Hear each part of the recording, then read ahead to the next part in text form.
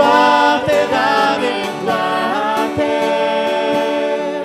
Știu bine că pe toate le-ai uitat. Sunt fericit chiar dacă vrei să sufăr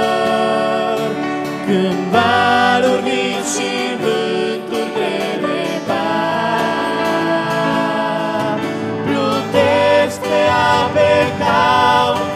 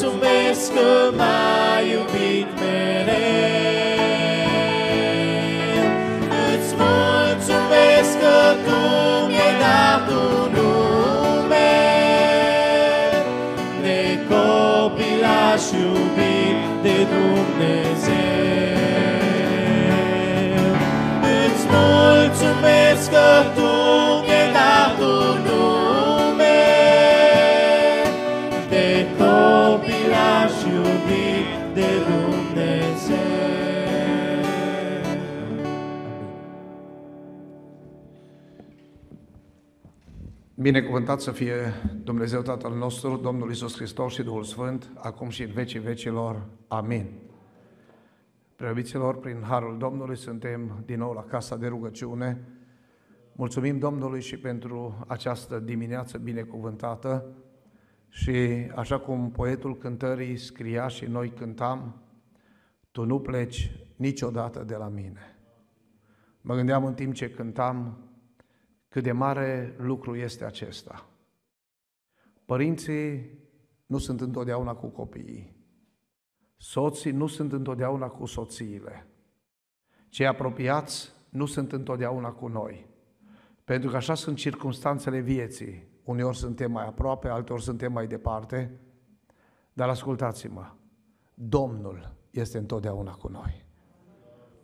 Domnul nu pleacă niciodată de la noi și când suntem singuri, și când ne frământăm noaptea, și când nu putem dormi, și când avem întrebări fără răspunsuri, și când avem frământări interioare, El nu pleacă niciodată de lângă noi. Slăvit să fie Domnul! Pavel spunea la un moment dat, toți m-au părăsit, dar Domnul a stat lângă mine. Poți să spui în această zi, Domnul a stat lângă mine? Poți să mărturisești în această dimineață că Domnul a stat lângă tine? Putem să mărturisim în această dimineață că Domnul a stat lângă familia noastră, lângă copiii noștri, că Dumnezeu ne-a purtat de grijă. Lăudat să fie numele Lui. Haideți în dimineața aceasta, cel puțin pentru motivul acesta special, să-i mulțumim. Să-i mulțumim că a fost și că este cu noi. Să-i mulțumim că este de partea noastră. Să-i mulțumim că ne-a ținut de mână într-o lume atât de frământată, de tulburată și de neliniștită. Dumnezeu este de partea noastră. Lucrul acesta nu este mic, oameni buni. Lucrul acesta este cel mai important lucru de sub soare. Să fie Dumnezeu de partea noastră, să fie Dumnezeu cu noi, să fie Dumnezeu lângă noi, mărit să fie numele Lui. De aceea vă invit să-i mulțumim din toată inima în dimineața aceasta, cu recunoștință, cu smerenie. Nu merităm lucrul acesta nici eu, nici dumneavoastră, dar Domnul s-a îndurat de noi, dar Dumnezeu ne-a purtat de grijă, dar Dumnezeu ne-a binecuvântat, dar Dumnezeu a avut milă de fiecare. Și să-i mulțumim că a fost cu noi, că este cu noi și că ne-a dat putere și binecuvântare. Cu toții să ne rugăm înaintea Domnului cu rugăciune de mulțumire. La final, fratele Aurel Ignat cu voce tare va continua să stea înaintea Domnului. Dumnezeu să ne asculte. Amin. Pe tine, Dumnezeule mare, te înălțăm. Și ție îți mulțumim că în dimineața aceasta Putem din nou să înălțăm glasurile spre Tine. Putem din nou să Te înălțăm cu cele mai alese cuvinte, cuvinte de laudă, cuvinte de recunoștință, cuvinte de smerenie, înaintea Ta, Doamne, ca o mireasmă plăcută. O, mulțumim că Tu ne-ai binecuvântat cu tot felul de binecuvântări. O, mulțumim că Tu ne-ai întărit datorită milei și îndurării sfinte. O, mulțumim că Tu nu pleci niciodată de la noi. Aleluia, mărire Domnului! Puterea Ta este mare, îndurarea Ta este adevărată, Duhul Tău cel Sfânt este Sfânt. Îți mulțumim, Doamne, că Tu ne-ai dat putere, Îți mulțumim că Tu ne-ai dat biruință, Îți mulțumim că Tu ne-ai dat călăuzire, slăvit să fie numele Tău. Ai întărit poporul, ai întărit biserica, ai întărit inimile noastre, laudă Domnului. Mulțumim, mulțumesc, Doamne, că îndurările Tale sunt mari pentru noi. Mulțumim, Doamne, că puterea Ta este mare. Mulțumim că îndurarea Ta este adevărată. Și mulțumim pentru Duhul Sfânt care, Doamne, este de partea noastră. Glorie Domnului și slavă Ție! Ai întărit inimile noastre, ai întărit poporul Tău, ai întărit moștenirea Ta, suntem la Betania, pentru că Tu ne-ai purtat de grijă. Mărire Ție și glorie Ție! O, venim cu smerenie, venim cu recunoștință, venim să stăm înaintea Ta, ca să înălțăm numele Tău, să te binecuvântăm pe Tine și să ne credem în Tine. Îți mulțumim Dumnezeul nostru, îți mulțumim Împăratul nostru și îți mulțumim că Tu ne dai putere și har. Lăudat să fie numele Tău.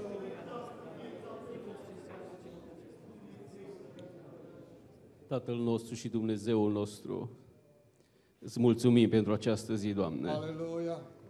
Îți mulțumim că ai lăsat sănătate în trupurile noastre, Doamne. Îți mulțumim că te-ai îndurat de noi, Doamne. Îți mulțumim că putem să stăm la închinare în această zi, să te lăudăm, să te glorificăm, să te onorăm pe Tine, Doamne. Ajută-ne să prețuim aceste vremuri, Doamne, Seule. Acest timp de părtășie în prezența Ta, Doamne, ajută-mă să-L prețuim, Doamne. Să ne apropiem mai mult de Tine, Doamne, să te slujim pe Tine mai Aleluia! mult, Doamne, pentru că vremurile sunt grele, Doamne, Seule. În aceste vremuri ne vorbești că nu mai este mult, Doamne, și Cel ce vine va veni. Îți mulțumim, te lăudăm și te glorificăm pe Tine, Doamne.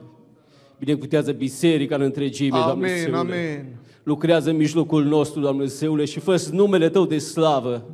Duhul Sfânt vorbește în ziua de astăzi, Doamne. Trezește-ne la realitate, Doamne, să te vedem pe Tine cu adevărat, Doamne, în viețile noastre, Doamne. Slăvim numele Tău și glorificăm numele Tău, Doamne. Pentru toate îți mulțumim și te onorăm pe Tine. Îți mulțumim că te înduri de noi, Doamne Seule. Ți ales bunătatea Ta, îndurarea Ta și dragostea Ta, Doamne. Fii binecuvântat în Iisus Hristos și slăvi, Doamne, în veci de veci. Amin. Rămânem ridicați înaintea Domnului și am să citesc Psalmul 29 la pagina 568 în Sfintele Scripturi, traducerea Cornilescu, toate cele 11 versete a Psalmului 29. Fiul lui Dumnezeu, dați slavă Domnului, dați, slavă, dați Domnului slavă și cinste.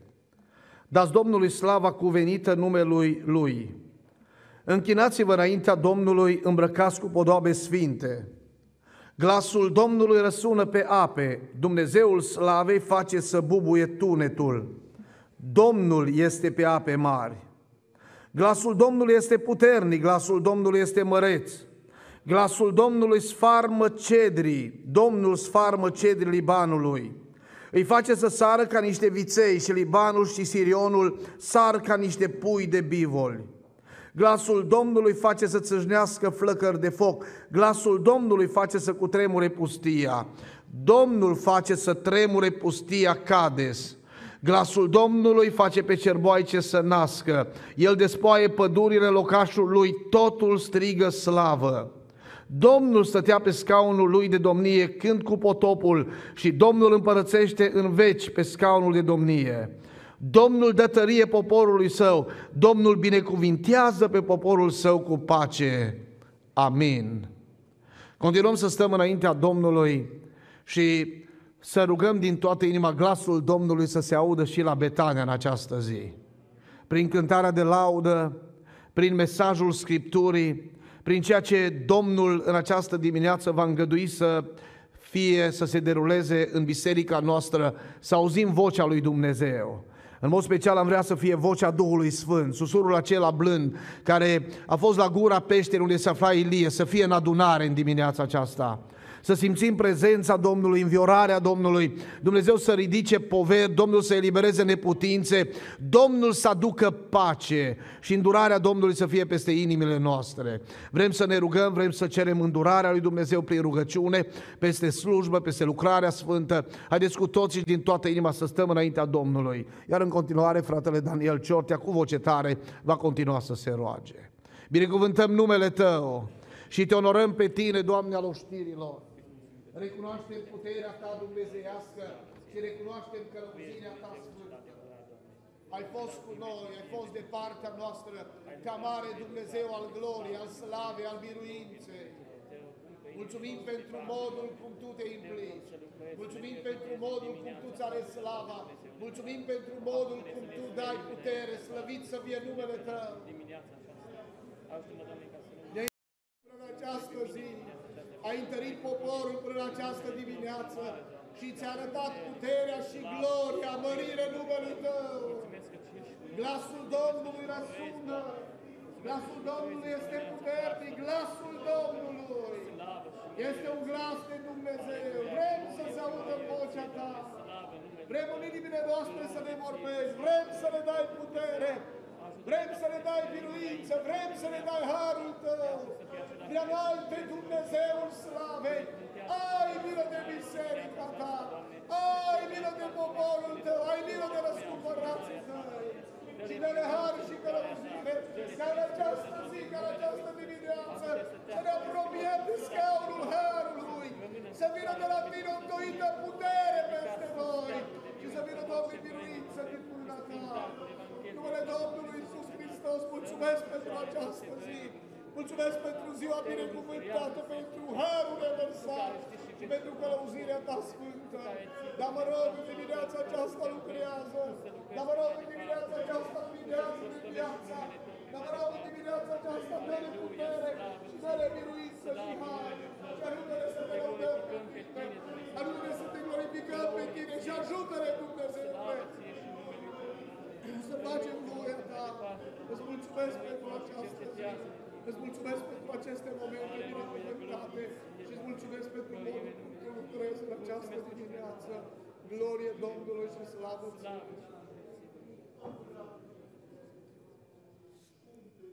Glorie ție, glorie numelui Tău și puterii Tale, Dumnezeule, și în dimineața aceasta și mulțumire, Doamne Dumnezeule, să-ți fie aduse pentru că Tu meriți, Doamne. Și vrem să venim cu mulțumire și cu laudă înaintea Ta, Dumnezeule, pentru că încă o dată bunătățile Tale, Doamne, și îndurările Tale n-au ajuns la capăt, Doamne, pentru noi. Suntem din nou, Doamne, în locul acesta de închinare, Doamne, și vrem să-ți mulțumim, Doamne, Vrem să lăudăm numele Tău și să binecuvântăm numele Tău, Doamne, în dimineața aceasta, să-ți aducem mulțumire că Tu meriți, Doamne Dumnezeule, pentru tot ce ai făcut și faci pentru noi, Doamne, lăudat să fie numele Tău. Te rog și în dimineața aceasta să te înduri de noi, de poporul Tău, de biserica Ta, Doamne, de fiecare în parte care vor intra în locul acesta, să spui mâna peste noi, Doamne, să te îndur că Tu ești Dumnezeu care faci minuni, Doamne. Tu nu te schimbi, ești același Dumnezeu, Doamne, îndură-te și dă lumină ochilor noștri și în dimineața aceasta, Doamne, să vedem voia Ta, Doamne Dumnezeule, să cunoaștem adevărul Tău, Doamne Dumnezeule, și să lucrăm cu înțelepciune, Doamne, în toate lucrurile, Doamne. Îți mulțumim pentru dragostea Ta de Tată și de Dumnezeu, Doamne. Te rog, Doamne Dumnezeule, știu că cel rău se războiește, Doamne, și se luptă cu putere, Doamne, dar dă biruință în dimineața aceasta, în locul acesta, numelui Tău și puterii Tale cele mari, Doamne Dumnezeule. Credem în numele Tău și în puterea Ta că Tu faci minuni, Doamne, și faci oamenii să se schimbe, Doamne, și să se toarcă la Tine și să facă voia Ta. Lucrează cu putere în locul acesta, Doamne. Întoarce oameni la Tine și la mântuire, Doamne, și numele Tău să se înalțe, Dumnezeule pentru toate îți mulțumim și credem în Tine și în dragostea Ta de a-ți aduce mulțumire și laudă, Tată, din cerul de acum și până în veci de veci să fii. Cu respect vă invit să reocupați locurile dumneavoastră. Din toată inima mulțumim Domnului pentru această binecuvântată dimineață. Ne bucurăm de prezența Domnului în casa de rugăciune, ne bucurăm de prezența dumneavoastră a fiecăruia și din toată inima dorim pe toți Dumnezeu să vă binecuvinteze.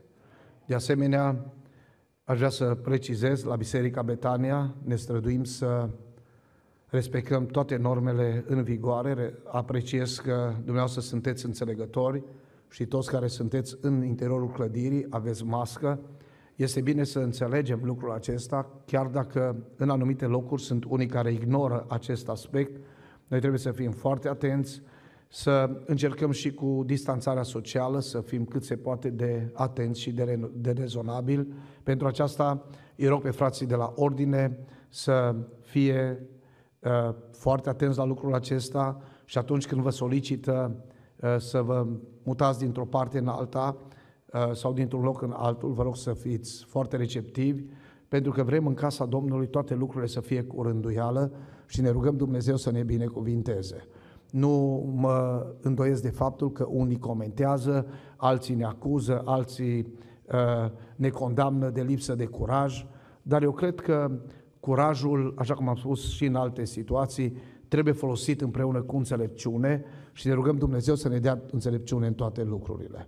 Pe deasupra, uh, știm foarte bine, în perioada aceasta se fac controle și e normal să se facă, uh, pentru că toate acestea sunt spre binele nostru, Uh, știți foarte bine, în țara noastră acest virus este încă într-o ascendență destul de puternică și toate sunt în, în și pentru scopul de a ne proteja pe noi, familiile noastre și copiii noștri. De aceea ne rugăm din toată inima Dumnezeu să ne binecuvinteze. Astăzi avem și sărbătoarea căsătoriei.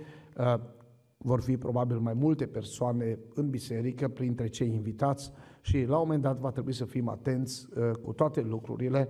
Dacă unii dintre cei mai tineri la un moment dat vor trebui să stea pe hol sau, mă rog, uh, pe coloare, va trebui să înțelegem și lucrul acesta și mulțumesc încă o dată echipei de la Ordine că și astăzi vom da dovadă de maturitate, de echilibru și de implicare după voia lui Dumnezeu. Și mă rog Domnul să ne ajute și să ne binecuvinteze la lucrul acesta. Continuăm să stăm înaintea Domnului cu echipa de cântăreți, uh, să lăudăm pe Domnul cu o cântare, apoi și corul bisericii se va organiza și va lăuda pe Domnul cu o cântare, apoi fratele Samuel Iuhoș va aduce un cuvânt din partea Domnului pentru inimile noastre și continuăm să stăm în rugăciune înaintea lui Dumnezeu.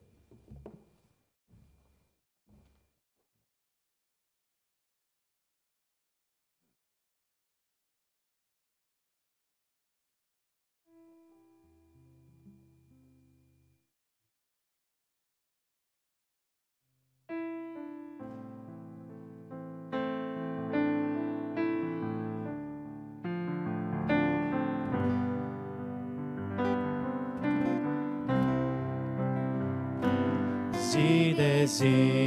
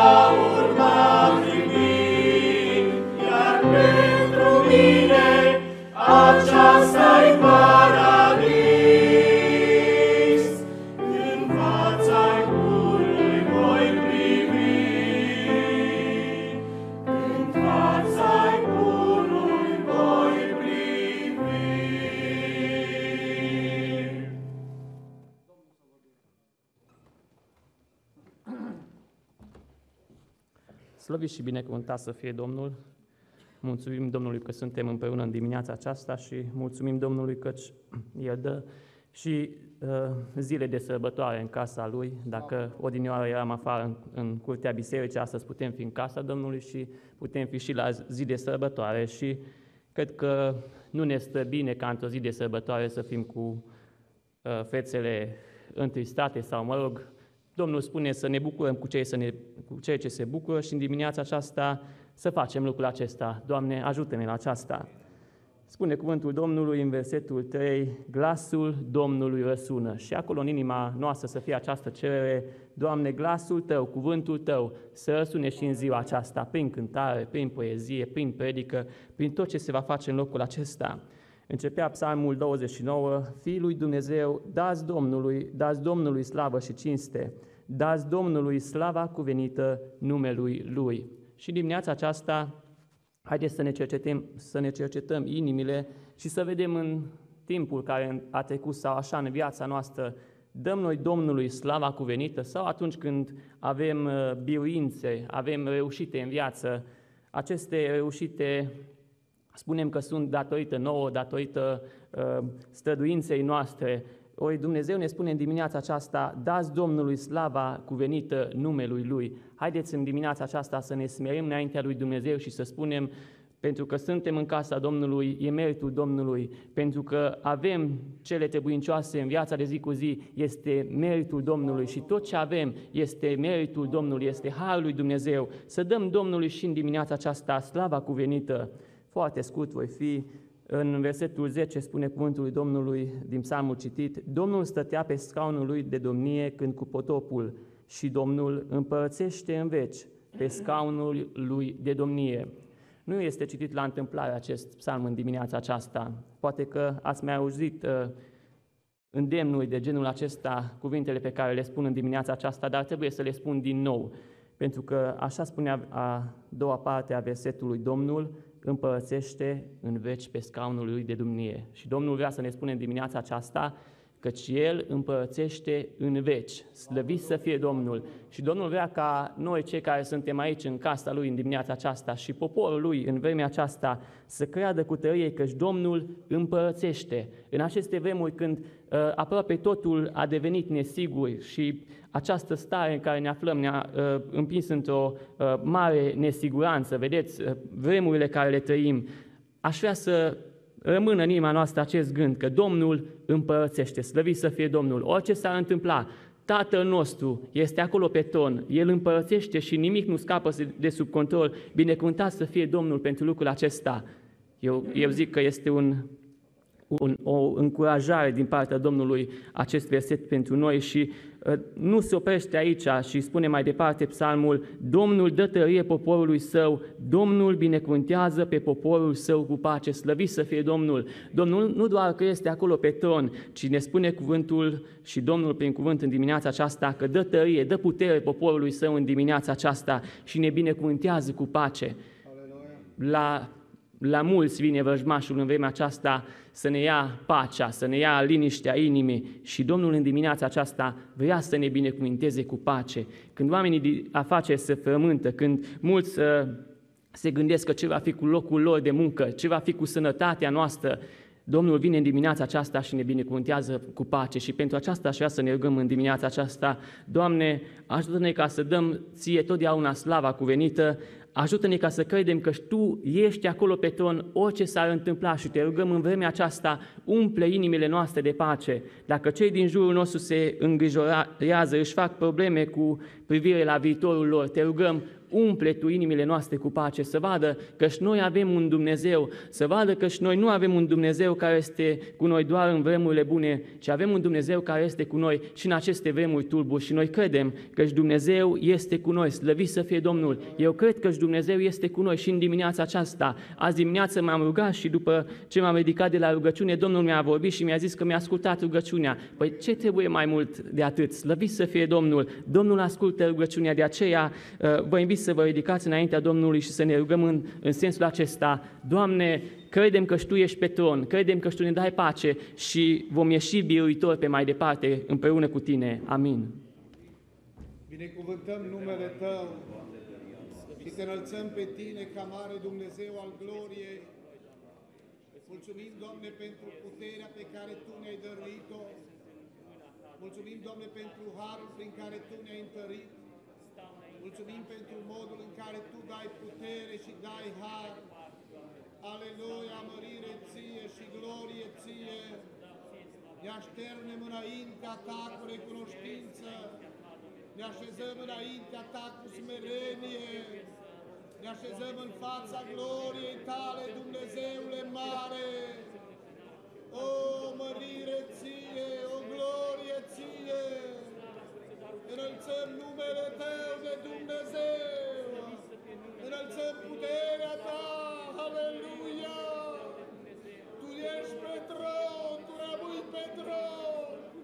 Tu ești neschimbat, Dumnezeu al slavei, Împărat al veșnicilor.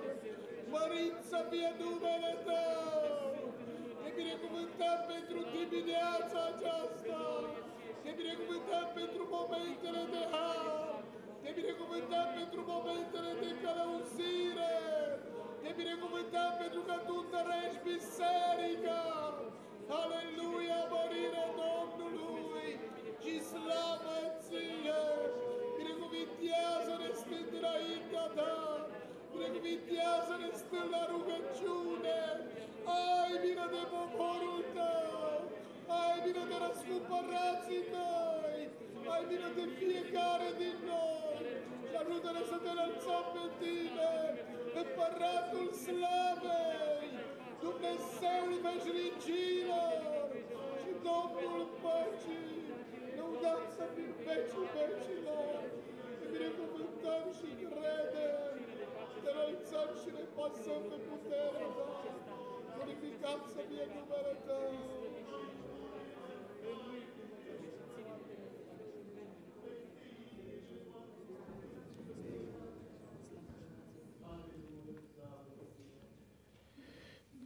În timp ce noi suntem la zi de sărbătoare, la rugăciune, semenii noștri, unii dintre ei sunt bolnavi acasă, alții sunt bolnavi la spitale, alții trec prin diferite și grele încercări.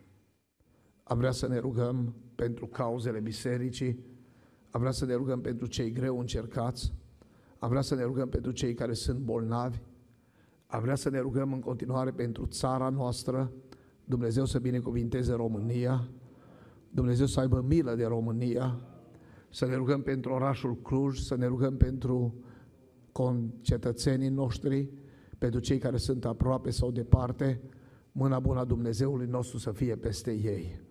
Rugăciunea este cea care rezolvă problemele.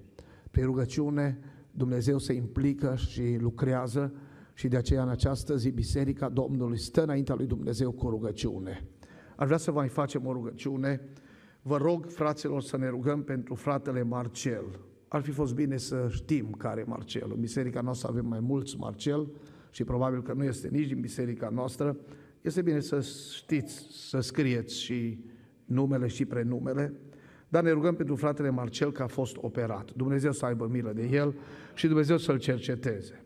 Fraților, vă rog să vă rugați pentru fratele Nicolae. Din nou, nu știm ce fel de Nicolae, dar este Nicolae, că este bolnav. Dumnezeu să aibă milă de el. Continuăm să ne rugăm pentru toți bolnavii, pentru toți cei care sunt greu încercați, pentru cauzele bisericii noastre, așa cum spuneam, care adeseori sunt puse pe proiector, sunt afișate, noi le cunoaștem. Ne rugăm ca Dumnezeu să aibă milă. Așa cum am spus, ne rugăm pentru România, într-o perioadă de pandemie, într-o, într perioadă când acest virus este încă într-o ascensiune destul de puternică. Ne rugăm ca Dumnezeu să-și întinde mâna. Ne rugăm ca Domnul să, să spună un cuvânt din cer. E Dumnezeul care poate. Slăvit să fie numele Lui. Noi ne încredem în Domnul. Noi credem că glasul lui Dumnezeu înseamnă putere, înseamnă biruință, înseamnă vindecare, înseamnă intervenție dumnezeiască. Și de aceea implorăm în dimineața aceasta Domnul să lucreze și Domnul să-și arate slava Lui. Mărit să fie Domnul. Haideți cu toată biserica să stăm în rugăciune înaintea lui Dumnezeu, cerând binecuvântarea lui Dumnezeu peste aceste cauze, peste peste situații, peste țara noastră, peste cei bolnavi și Dumnezeu să dea putere și biruință. Cu toții ne rugăm și fratele David Crișan va încheia această rugăciune. O, ne smerim înaintea ta și te glorificăm pe tine, împăratul slavei și Domnul veșnicilor.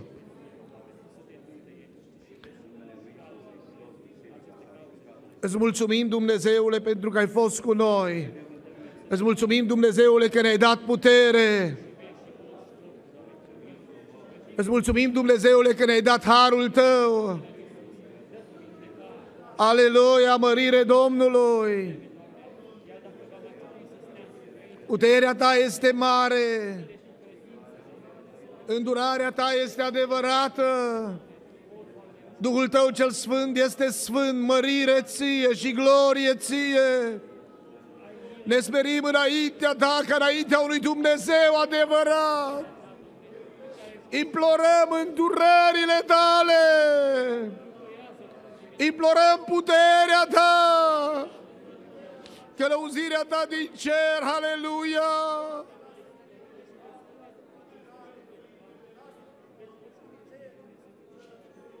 Îți mulțumim că Tu dai putere bisericii Tale. Fie smiră de cei care trec prin grele încercări.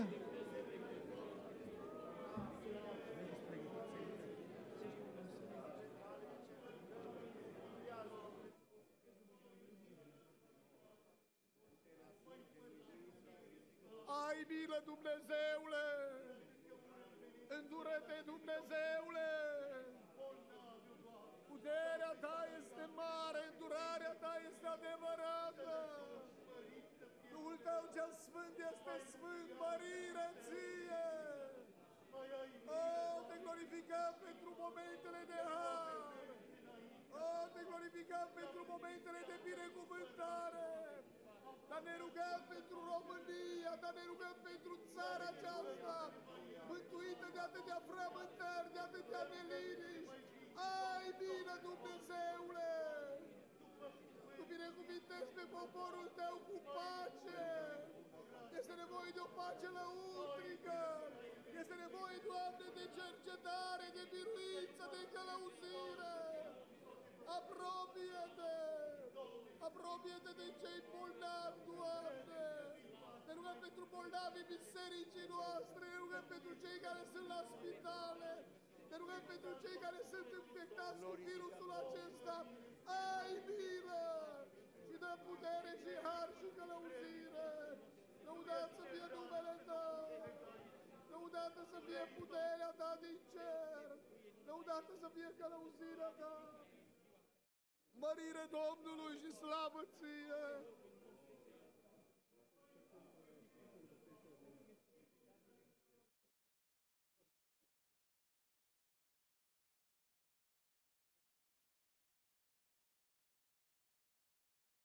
Tatăl nostru care ești în ceruri, în numele Domnului nostru Isus Hristos, venim să-ți mulțumim că până aici am văzut mâna ta, brațul tău. Îți mulțumim că ne-ai mai bine cuvântat cu o zi, cu o dimineață, când să putem să fim în prezența ta, în prezența Evangheliei, a cuvântului tău, împreună cu Biserica Betania la un timp de închinare, părtășie. Îți mulțumim pentru oportunitatea aceasta, lăudăm și onorăm numele tău. Îți mulțumim, Doamne, pentru rugăciuni ascultate în dimineața aceasta.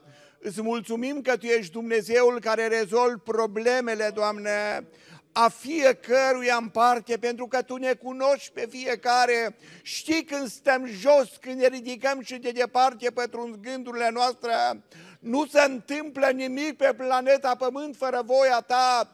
O, îți mulțumim, Doamne, că ești în control și în dimineața aceasta și vrei să binecuvintezi viețile noastre, ființele noastre, binecuvintează familiile noastre, Doamne, binecuvântă copiii noștri, binecuvântă nepoții noștri, binecuvântă întreaga adunare, Doamne, și fie mâna Ta și brațul Tău peste fiecare și mâna Ta deschisă și în dimineața aceasta să saturi după dorință tot ce are viață, lăudat să fie în numele Tău, te rugăm să ai în vedere și cauzele care au fost aduse înaintea bisericii, Doamne.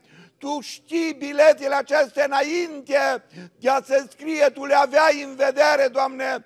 De aceea te rog, rezolvă-le favorabil după sfântă voia ta. Ai în vedere și cauzele bisericii noastre, care totdeauna când venim în locul acesta, sunt trecute pe scrinul bisericii, Doamne. Te rog, îndură-te de fiecare, Doamne, și lucrează spre iertare, mântuire, vindecare, Doamne, a tuturora și sufletul nostru te va preamări. Îți mulțumim și pentru timpul de rugăciune, Doamne.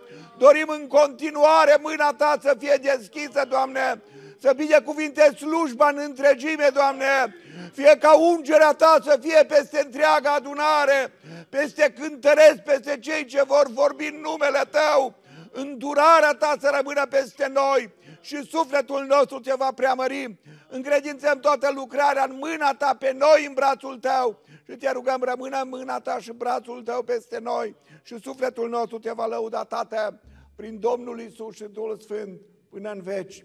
Amin. Mulțumim lui Dumnezeu pentru acest timp de rugăciune. Domnul ascultă rugăciunile și noi credem lucrul acesta și spunem din toată inima slăvit să fie numele Lui. Mulțumim lui Dumnezeu că au sosit și mirii împreună cu invitații lor. De aceea, pe fondul unei cântări cântată instrumental, mirii vor intra împreună cu invitații. Îi așteptăm să vină și vrem să-i binecuvântăm în numele Domnului și Dumnezeu să ne binecuvinteze pe toți. Amin.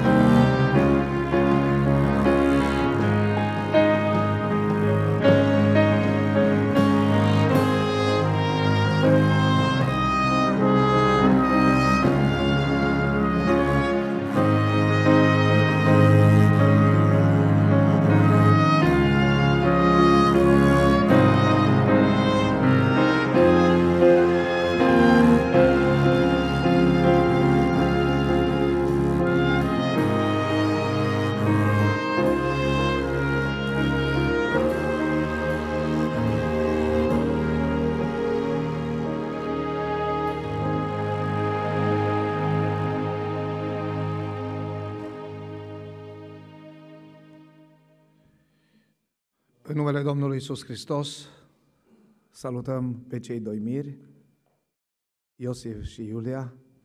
Bine ați venit în casa Domnului ca să primiți binecuvântare din partea lui Dumnezeu și noi spunem de pe acum Dumnezeu să vă binecuvinteze. Împreună cu mirii, salutăm cele două familii binecuvântate, familia Sănmărean Pavel și Emilia, împreună cu invitații lor, Domnul să vă binecuvinteze și familia Pârlea, Dan și Mirela.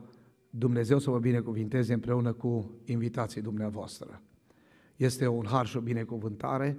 Dumnezeu a rânduit lucrurile să fie mai bine de cum ne-am așteptat într-o perioadă pe care o traversăm. Au fost multe întrebări, cum va, vom putea, cum ne vom putea aduna, cum va fi contextul. Domnul ne-a binecuvântat, a ascultat rugăciunile și pentru aceasta spunem, slăvit să fie Domnul.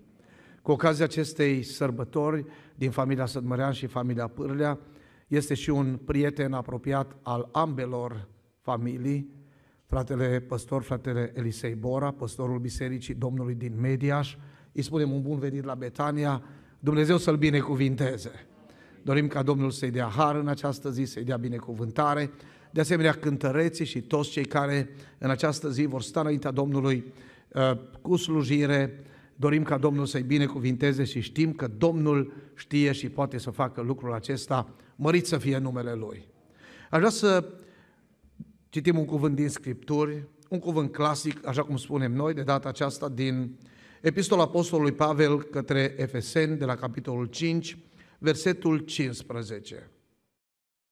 Luați seama, deci, să umblați cu băgare de seamă, nu ca niște neînțelepți, ci ca niște înțelepți. Răscumpărați vremea că zilele sunt rele. De aceea, nu fiți nepricepuți, ci înțelegeți care este voia Domnului. Nu vă îmbătați de vin, aceasta este destrăbălare. Din potrivă, fiți plini de Duh, Vorbiți între voi cu psalmi, cu cântări de laudă, cu cântări duhovnicești și cântați și aduceți din toată inima laudă Domnului. Mulțumiți totdeauna lui Dumnezeu Tatăl pentru toate lucrurile, în numele Domnului nostru Isus Hristos. Supuneți-vă une altora în frica lui Hristos. Nevestelor, Fiți supuse bărbaților voștri ca Domnului, căci bărbatul este capul nevestei, după cum și Hristos este capul bisericii, El, mântuitorul trupului. Și după cum biserica este supusă lui Hristos, tot așa și nevestele să fie supuse bărbaților lor în toate lucrurile. Bărbaților, iubiți-vă nevestele cum a iubit și Hristos biserica și s-a dat pe sine pentru ea ca să o sfințească după ce a curățit-o prin botezul cu apă, prin cuvânt, ca să înfățișeze înaintea lui această biserică slăvită, fără pată, fără zbârcitură sau altceva de felul acesta, ci sfântă și fără prihană. Tot așa, trebuie să-și iubească și bărbații nevestele ca pe trupurile lor. Cine iubește nevasta, se iubește pe sine însuși. Căci nimeni nu și-a urât vreodată trupul lui, ci îl hrănește, îl îngrijește cu drag, ca și Hristos biserica. Pentru că noi suntem mădulare ale trupului lui, carne din carnea lui și os din oasele lui. De aceea, va lăsa omul pe tatăl său și pe mama sa și se va lipi de nevastă sa și cei doi vor fi un singur trup. Taina aceasta este mare, vorbesc despre Hristos și despre biserică. Încolo, fiecare din voi să-și iubească nevasta ca pe sine și nevasta să se teamă de bărbat. Amin. Haideți așa cum stăm, să rostim cu toții rugăciunea Tatăl nostru. Și când noi vom încheia rugăciunea Tatăl nostru, fratele Ghiță Sărmășan cu voce tare va sta înaintea Domnului cu rugăciune. Tatăl nostru care ești în ceruri, sfințească-se numele Tău, vie împărăția Ta, facă-se voia Ta, precum în cer, așa și pe pământ. Pâinea noastră, cea de toate zilele, dă-ne nouă astăzi și ne iartă nouă greșalele noastre, precum și noi iertăm greșiților noștri. Și nu ne duce pe noi în ispită, ci ne izbăvește de cel rău. Căci a ta este împărăția și puterea și slava în vecii vecilor. Amin. Mulțumim, suntem înaintea ta, Tată Ceresc, în meritul Domnului Iisus Hristos, că de dimineață bunătatea, mila și îndurarea ta s-au arătat față de fiecare. Suntem aici la casa de rugăciune, unde, Doamne, dorim în continuare să-ți auzim glasul Aleluia! Tău. Și te rugăm, vorbește fiecăruia în parte, Doamne, că Tu ești Cel care ai toată puterea și în cer și pe pământ. Și noi îți mulțumim aceea nu te-ai schimbat, Dumnezeule, tu ai rămas același. Glorie Domnului! Dacă ai dat lui Moise niște legi și ai spus către popor atunci, dacă veți asculta de glasul lui Dumnezeu, Dumnezeu vă va păzi, vă va binecuvânta, vă va purta de grijă și îți mulțumim că ce ai trimis pe Domnul Isus în lumea aceasta Domnului! ca să vină să aducă mântuire și iertare de Aleluia! păcate omenirii. Și iată-ne, Doamne, în casa de rugăciune, am dorit să-ți mulțumim în continuare Slavă! și să-ți auzim glasul Tău, Mântuitorul iubit. Pentru că Tu ai spus că oile Tale îți aud glasul și nu se duc după un străin. Dorim în această di- zi, Doamne, de sărbătoare, Doamne, la această nuntă, Doamne, te rugăm să binecuvântezi, Doamne, pe Iosif, pe Iulia, Doamne, să Amin, binecuvântezi, amin. Doamne, părinților, să binecuvântezi rudenile, să-ți întinzi mâna în continuare, Doamne, că Tu ești Dumnezeul cel viu, nu te-ai schimbat, Doamne, poți să faci minuni și astăzi, Doamne, de aceea te rugăm pentru sora Mirela, lasă o ungere sfântă, Doamne, ca în această zi, Doamne, la nunta aceasta, să simtă cu adevărat prezența Ta. Aleluia! Aleluia! Te slăvim pe Tine, Marele Păstor, Domn al Slavei! Și dorim în continuare, Doamne, ca ungerea Ta să coboare pe deplin peste fiecare în parte și aici în casa de rugăciune, cu mulțumiri că Tu vei face mai mult decât am știut noi să cerem. Binecuvântă în continuare, Doamne, programul acesta, Doamne, și Aleluia! ungerea Ta fie peste slujitori și peste toți. Și noi îți mulțumim, Tată Ceresc, în numele Domnului Isus Hristos. Amin. Cu invit, vă invit să respectați, să așezați, vă așezați locurile dumneavoastră. Mulțumim din toată inima Domnului pentru prezența sa în casa de rugăciune. Încă o dată ne bucurăm de prezența dumneavoastră a fiecăruia, preobiți frați și surori, preobiți miri, preobite familii implicate în această zi, la această sărbătoare. Ne bucurăm de invitații dumneavoastră, îi salutăm și pe cei care ne urmăresc prin intermediul internetului, oriunde ar fi ei, aproape sau departe, Dumnezeu să-i binecuvinteze. Regretăm că acest context nu a creat posibilitatea unora, în special din familia Sădmărean, frați slujitori, care ar fi dorit să fie împreună cu noi. Lucrurile stau așa cum le cunoaștem, dar așa cum este, suntem mulțumitori înaintea lui Dumnezeu și vrem să spunem încă o dată, slăvit să fie Dumnezeu pentru lucrul acesta. Am și avem o listă de slujire pe care împreună cu Miri am stabilit-o, încercăm să aranjăm lucrurile așa cum ne-am propus. Vă felicit că sunteți matinali. În general cu Miri, cu nunțile avem probleme, uh, fotografii întârzie, cei care aranjează lucrurile mai întârzie, apoi pe la primărie, Uh, fratele Pavel Sălmărean de dimineață a fost așa foarte prompt să ne grăbim și bine ați făcut că v-ați grăbit, așa cum v-ați propus, așa ați ajuns la casa de rugăciune înainte de ora 10, felicitări și mă bucur de lucrul acesta, Dumnezeu să vă binecuvinteze și pentru aceasta. Aș vrea să parcurgem această listă de slujire, așa cum uh, o avem pentru gloria lui Dumnezeu, pentru bucuria sărbătorii noastre, Naomi și Salomea vor sta înaintea Domnului și vor lăuda pe Domnul cu cântare. Surorile Pârlea, de asemenea, vor cânta pentru slava lui Dumnezeu. Amalia Dunca și ea va sta înaintea Domnului și va cânta pentru slava Domnului. Și o surpriză frumoasă, sora Mirela Pârlea va recita o poezie. Dumnezeu să o binecuvinteze și Dumnezeu să o întărească. Sora Mirela Pâlea este un exemplu pentru noi, pentru mine. Și în perioada aceasta de pandemie, când n-am putut să ne întâlnim cu biserica, pe grupul bisericii, de multe ori, mesajul poeziei transmis prin sora Mirela, pentru mine, au fost cuvinte de încurajare. Și poate pentru mulți dintre dumneavoastră. Mulțumim lui Dumnezeu. Ne rugăm Dumnezeu să o întărească. Și ne rugăm Dumnezeu să dea putere și biruință. Apoi corul și fanfara bisericii vor lăuda pe Domnul și după toate acestea ne bucurăm că în familia Sănmărean Domnul a rânduit să fie și slujitori și aceasta este o binecuvântare din partea Domnului. Fratele Paul Sălmărean, care este slujitorul Domnului, și fratele mai mare, Iosif.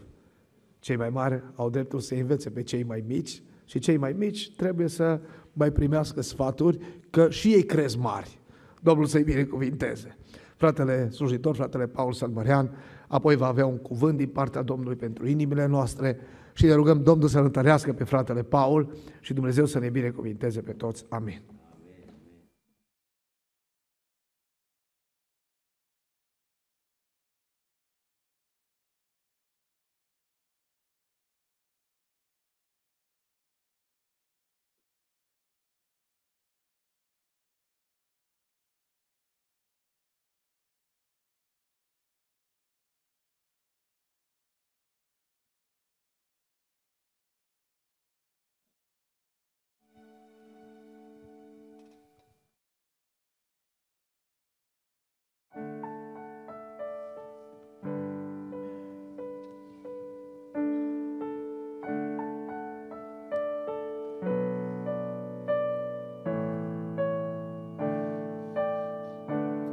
Este o zi de sărbătoare pentru voi. S-a născut același vis în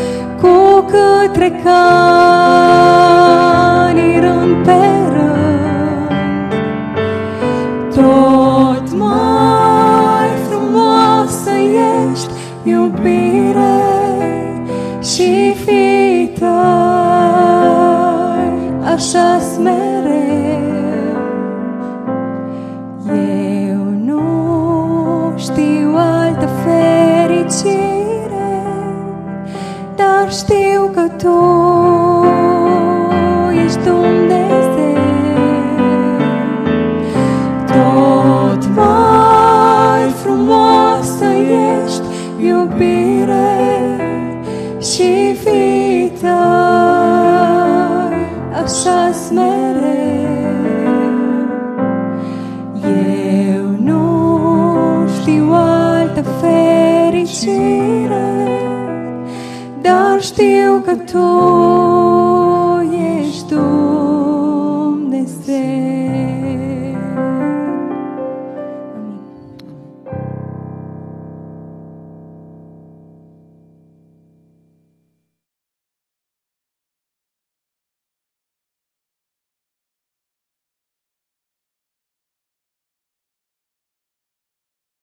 Greșesc.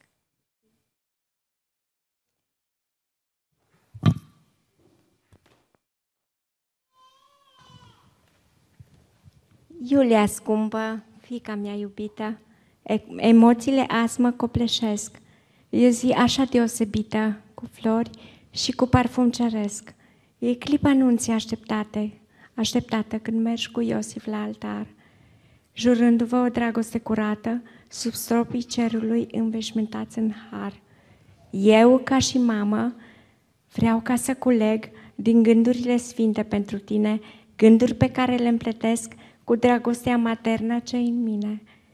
Acum tu pleci din casa noastră, în casa ta și în alt cămin, să o faci în fiecare zi frumoasă, cu dragosteați, cu chipul tău blajin, să fie în ea mereu flori de iubire, flori ce parfumul să își răspândească și niciodată spinii de jignire în locuința ta să nu se găsească.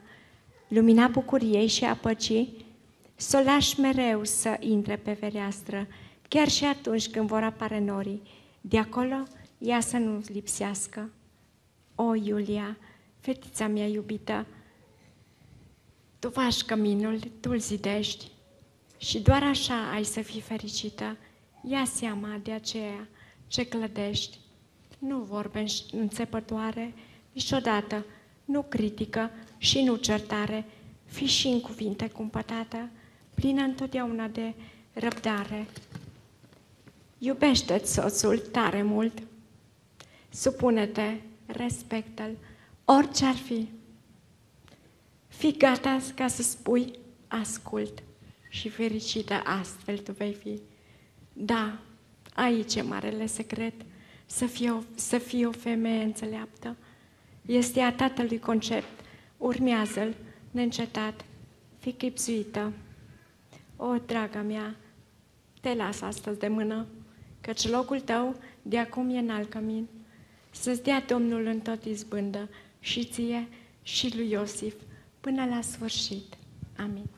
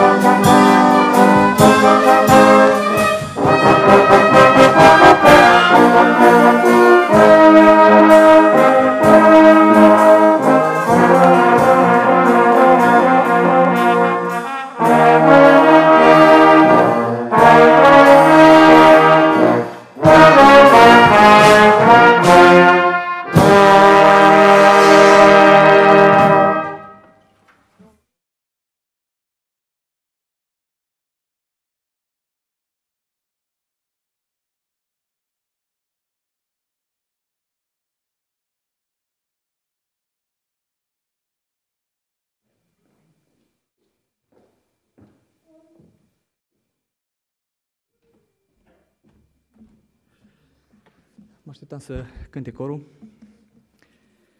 Dragi frați, vă salut și eu cu multă bucurie pe toți cei care în dimineața aceasta, în această zi ați ales să fiți aici la Betania, în această zi specială și cred că suntem fiecare dintre noi conștienți că primul motiv pentru care suntem aici este El, este Dumnezeu. De aceea ne-am adunat aici, pentru că El este Domnul nostru, pentru că e Mântuitorul nostru, pentru că e acela care și-a dat viața pentru noi, ne-a răscumpărat, a făcut din noi copii al Dumnezeu. Și al doilea motiv îl avem aici în fața noastră, Iulia și Iosif. Suntem alături de ei cu multă bucurie și binecuvântăm în numele Lui Dumnezeu.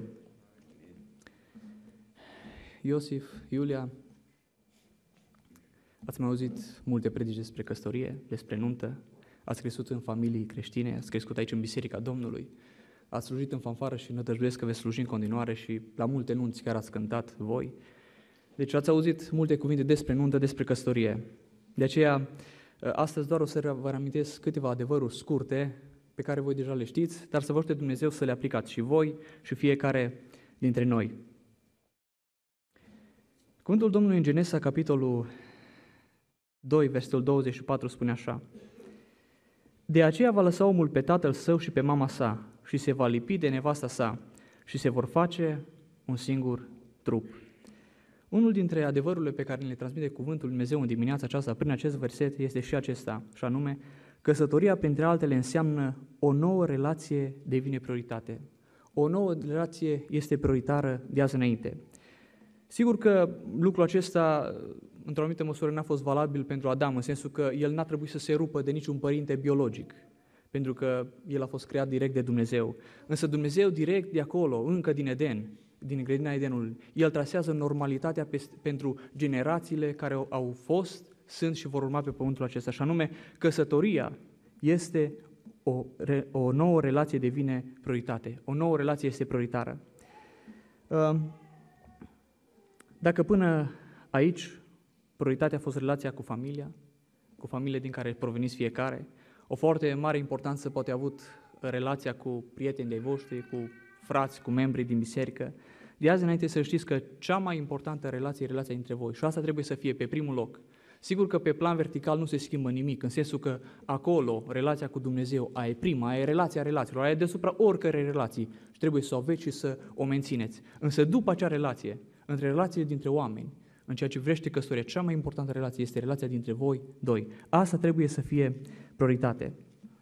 A lăsa și a se lipi înseamnă a face o prioritate din noua relație și a o întreține comunicând frecvent unul cu celălalt. Da, nu trebuie să lipsească comunicarea uh, din relația voastră și uh, înțeleg că și am citit ceva despre comunicare și spune că comunicarea ajută la păstrarea liniștii și a păcii în cămin. Și o familie tânără au luat o hotărâre de genul și spuneau așa, Soțul a spus, auzi, când eu am avut o zi mai grea la muncă și când o să intru acasă și o să mă vezi cu pălăria mai trasă pe față, să fii atentă ce vorbești cu mine, te rog. Și soțul a spus, bun, dar tu când o să vii acasă și o să mă vezi pe mine cu un nod legat la short, să ai tu grijă ce vorbești cu mine pentru că să știi că am avut o zi grea.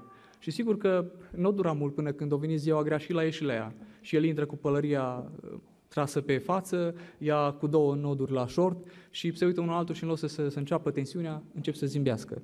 Pentru că și aceasta a fost o formă de înțelegere și de comunicare între ei. Relația sau căsătoria înseamnă o nouă relație devine prioritate și această relație trebuie întreținută, printre altele, comunicând. Noua relație cu soțul, cu soția, are prioritate față de oricare altă relație, față de relația pe care s-a avut-o până acum cu părinții, cu biserica, cu prieteni, uh, cu cei din anturajul vostru. Asta nu înseamnă că nu mai vorbim cu părinții. Asta nu înseamnă că de azi înainte o să-i respingeți. Asta nu înseamnă că o să adoptați față de ei o atitudine uh, negativă. Însă trebuie să știți că noul vostru cămin trebuie să fie locul vostru preferat, cel mai iubit loc, relația dintre voi pe primul loc. Vrea aici să fac observație, dacă pot să, să spun așa, o atenționare părinților, și anume părinți. Lăsați-i să învețe să decidă ei împreună cu Dumnezeu voi sfătuiți iar atunci când vor veni și, vor, și vă vor cere sfatul, dați-l cu mai multă bucurie. Însă nu încercați niciodată să vă impuneți în familia lor punctul vostru de vedere. Să spuneți, doar așa trebuie să faci cum spun eu. Lăsați-i pe ei să, învațe, să învețe să decide singuri, ei împreună cu Dumnezeu. Mă gândesc la un moment din Genesa, fratele Vasile deja l-a amintit dimineața la uh, casa Iuliei și știți foarte bine acel moment când Avram își cheamă slujitorul și îl trimite și spune, auzi, du-te că trebuie să uh, aduci o nevastă din neamul meu pentru fiul meu uh, Isaac. Robul acesta credincios merge, știți toată relatarea aceasta biblică, o găsește pe Rebecca la fântână, toate sunt bune și frumoase. Dimineața când omul trebuia să se întoarcă înapoi cu Rebecca, uh, el spune, lăsați-mă să mă întorc la stăpânul meu. Dar în momentul acela Laban, fratele Rebecăi, mama ei spune, uh, fata să mai rămână câteva zile cu noi, măcar vreo 10 zile. Adică cu alte când auzi, tu iau înainte, du-te, că păi 10 zile sau mai mult vom vedea noi. Dar omul să spune, nu mă opriți, fiindcă Domnul mi-a dat izbândă. Și atunci ei fac un pas înapoi, cum era normal să facă și spune așa, au chemat dar pe Rebecca și au zis, vrei să te duci cu omul acesta? Da, vreau, a răspuns ea. Dragii mei, sfătuiți dacă vă cer sfatul, dați-l cu mai multă bucurie, spuneți-le ce aveți de spus, însă lăsați-i pe ei să decidă împreună cu Dumnezeu. Lăsați-i pe ei să decidă pentru că de, uh, luând decizii hotărâri împreună, vor fi direct responsabili, se va întări relația dintre ei, relația dintre ei și Dumnezeu. Un al doilea adevăr pe care vreau să vă spun în această zi, pe lângă faptul că căsătoria înseamnă că o nouă relație devine prioritate pentru voi, toate celelalte rămân în urmă, rămâne, să spun așa, pe primul loc relația cu Domnul și apoi relația dintre voi doi. Da, aici aș vrea să mai spun ceva. Atâtea familii au sfârșit rău și au sfârșit rău din cauza că atâția din anturajul lor au vrut să-și impună punctul de vedere în familia lor. Și părinții într-un fel, și prietenii într-un fel, și cei de la locul de muncă într-un fel, și fiecare le-au dat sfatul și au zis, păi fa așa, păi fa așa, păi cum să-ți zugrăvești un casă nu știu ce culoare? Păi cum să îți cumperi tu mașina aia scumpă sau cum să o cumperi aia mai ieftină? Și toți au încercat să se impună. Și pentru că familiile erau la început, nu erau suficient de statornici și de închegate, au sfârșit prin a se ruina. Pentru că mulți au vrut să își impună punctul de vedere. Lăsați-i pe ei să decidă, lăsați-i pe ei să aleagă. Dumneavoastră să sătuiți. Iar atunci când veți vedea că nu vor alege așa cum voi vreți, continuați să-i susțineți, continuați să vă rugați pentru ei și Dumnezeu să-i lumineze. Un al doilea adevăr, căsătoria înseamnă finalul căutării, și începutul trăirii cu convingerea că El, că ea, este darul lui Dumnezeu. La un moment dat îmi place cum exclamă uh, Adam în Cartea Genesa, în vestul 23, spune așa, iată, în sfârșit. În momentul acela, când Adam o vede pe Eva, înțelege că așteptarea lui a luat sfârșit. Înțelege că căutarea lui a luat sfârșit. A fost un moment când Dumnezeu a spus lui Adam, uite Adame, vin animalele înaintea ta, viețuitoarele, tu dă-le câte un nume fiecăruia. Și în timp ce Adam era foarte conștiincios să facă ceea ce Dumnezeu i-a spus, uh, a observat că uh, acele animale veneau în pereche. Era de parte bărbătească și de parte femeiască. Și s-a uitat și poate aștepta și el, aștepta și el să vină cineva care să semene cu el, să se potrivească cu el. Și când Domnul spune, dar pentru om nu s-a găsit niciun ajutor care să-i se potrivească. Însă vine o zi, acea zi în care Domnul trimite un somn peste Adam, ia una din coastele lui și din acea coastă face o femeie și o aduce înaintea lui. Și în momentul acela Adam spune, iată în sfârșit. Cu alte cuvinte, s-a terminat căutarea. Cu alte cuvinte, a luat sfârșit așteptarea. Dragii mei, căsătoria înseamnă finalul căutării și începutul trăirii cu convingere că El, că ea este darul lui Dumnezeu. Proverbe, 20, Proverbe 18 cu versetul 22 spune așa de frumos.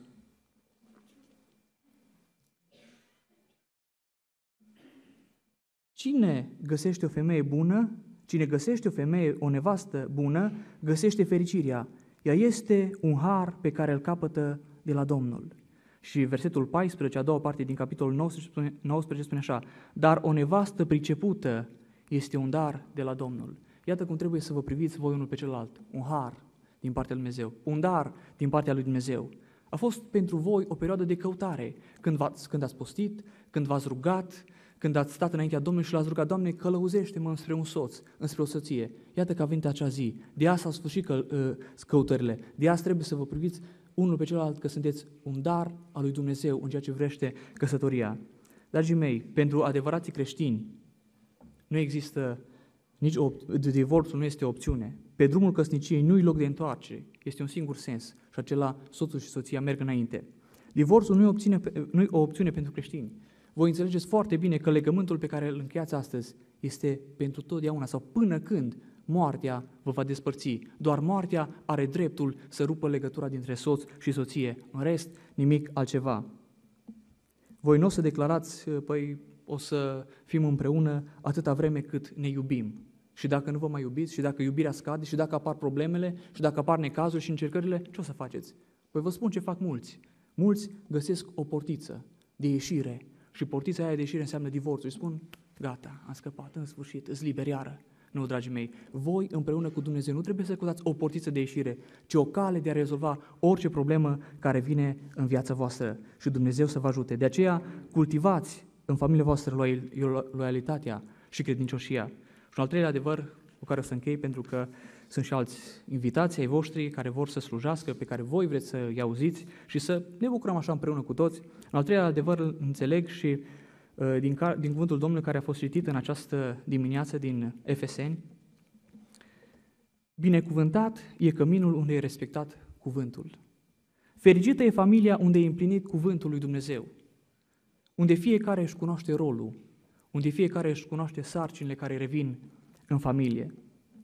Efeseni 5 cu 22 spune așa, Nevestelor, fiți supuse bărbaților voștri ca Domnului. Și o te întreb, Iulia, astăzi și nu trebuie să-mi răspund, gândește în mintea ta, cum ai fost tu supusă până astăzi Domnului? Pentru că în versetul 24 spune așa, și după cum biserica este supusă lui Hristos, tot așa și nevestele să fie supuse bărbaților în toate lucrurile. Cum ai fost supusă Domnului? Ți-a fost greu? Ți-a fost ușor? Nu știu. Însă Biblia spune așa cum te-ai supus până azi Domnului, trebuie să te supuși și bărbatului tău. Nu uita, ă, tu ai un model de supunere și acest model îl găsești în versetul 24 din Efeseni 5, și anume biserica. Așa după, după cum biserica s-a supus, l-a ascultat pe Hristos, așa trebuie să, facă, să faci și tu și să facă orice soție. Și biserica să știu că recunoaște autoritatea lui Hristos. Biserica să știi că recunoaște că Hristos este capul bisericii, că Hristos dă o direcție bisericii sau direcția cea bună bisericii, că Hristos este călăuzitorul bisericii. Biserica acceptă planul lui Hristos. Așa trebuie să fie și soțiile, așa trebuie să fii și tu. Să accept uh, că în familia ta capul este Iosif, că în familia dumneavoastră uh, capul familiei este bărbatul dumneavoastră, că el dă direcția familiei, că el dă orientare, că el se preocupă de atmosfera familiei voastre. Nu încercați să uh, inversați rolurile, că s-ar putea să nu iasă, nu iasă bine. În dimineața asta, pare mi se că am aflat că Maria, și Maria? Da, mi-aduc aminte de acea tânără, sfântă și curată Maria, la care uh, la un moment dat vine trimis de Dumnezeu un înger, și anume îngerul Gavril. Și tot acea, acea conversație dintre ei se gata cu următoarele cuvinte. Iată roaba Domnului, facă-mi se după cuvintele tale. Asta da dovadă de supunere. Doamne, dar nu înțeleg, am și un plan, am și un plan, îți logodită cu, tot cu un Iosif, îți logodită cu un Iosif. Uh, ce o să spună el acum, când eu, dacă eu accept planul tău, care e diferit de ceea ce am gândit eu, mi este așa de greu să-l accept. Iată o dovadă de supune. A spus, da, Doamne, dacă asta e voia Ta, o accept. S-ar putea uneori Iosif să ceară lucruri care ți se par anapoda, aiurea, nu le înțelegi. Dar trebuie să dai dovadă de supunere. Însă aici trebuie să ne înțelegem asupra unui lucru. Supunerea nu înseamnă compromis. Supunerea nu înseamnă că tu o să renunți pentru că Iosif își cere ceva, ă, tu o să renunți la principiile Scripturii, că tu o să renunți la voia lui Dumnezeu. Supunerea nu înseamnă compromis. Eu cred că supunerea merge până acolo, când partenerul își cere să faci lucruri care sunt împotriva voii lui Dumnezeu. Dacă se întâmplă să-și ceară asemenea lucruri, roagă-te pentru el, ca Dumnezeu să lumineze și uh, împreună viața voastră să meargă frumos înainte. Iosif, și tu ai un model de urmat și orice bărbat are un model de urmat în, în casa lui și anume modelul lui Hristos. Și versetul 25 spune așa, bărbaților, iubiți-vă nevestele cum a iubit și Hristos biserica și s-a dat pentru ea. Așa și-a iubit Hristos biserica, s-a sacrificat, s-a jertfit, a renunțat, a făcut totul pentru ea, ca această biserică într-o zi să fie împreună cu el, să fie mireasa lui sfântă și curată. Așa trebuie să-ți iubești tu uh, soția, până la sacrificiu. Uh, să te îngrijești de ea. Spune că nimeni nu și-a urât vreodată trupul, ci îl hrănește, îl îngrijește. Asta înseamnă să, să-i acorzi timp. Asta înseamnă să fii preocupată, să ai interes pentru nevoile ei. Să-ți ajute Domnul. Uh, ai un model în Hristos și tu trebuie să copiezi acest model. Și Hristos a iubit biserica până la sacrificiu. Hristos, de dragul oamenilor păcătoși, ă, a renunțat la cer, a venit să trăiască printre oameni, a murit pentru ei ca să-i salveze, a renunțat la tot, la viața Lui, de dragul nostru. Și eu mă întreb pe mine și te întreb pe tine și vă întreb pe cei care sunteți soți, voi la ce renunțați de dragul soțiilor voastre? Să știți că soțiile noastre ne acceptă multe și sunt foarte îngăduitoare cu noi. Și știu că noi suntem oameni harnici și muncim, și știu că noi mai suntem implicați și pe la biserică, unii uh, vin marță de marță, vinere de vinere, alții sunt implicați pe la cor, pe la fanfară și alte activități. Și soțiile noastre sunt foarte îngăduiri și înțeleg lucrul acesta. Însă, uh, dacă voi, pe lângă toate aceste activități bune pe care le aveți, în loc să începeți să petreceți timp cu soția, veți spune, păi de două ori pe săptămână am programat uh, o ieșire cu, nu știu, la fotbal. O altă, într-o altă zi am o, pre, o programat o ieșire cu cu băieții. Să nu vă așteptați ca soțiile să vă fie foarte, foarte supuse.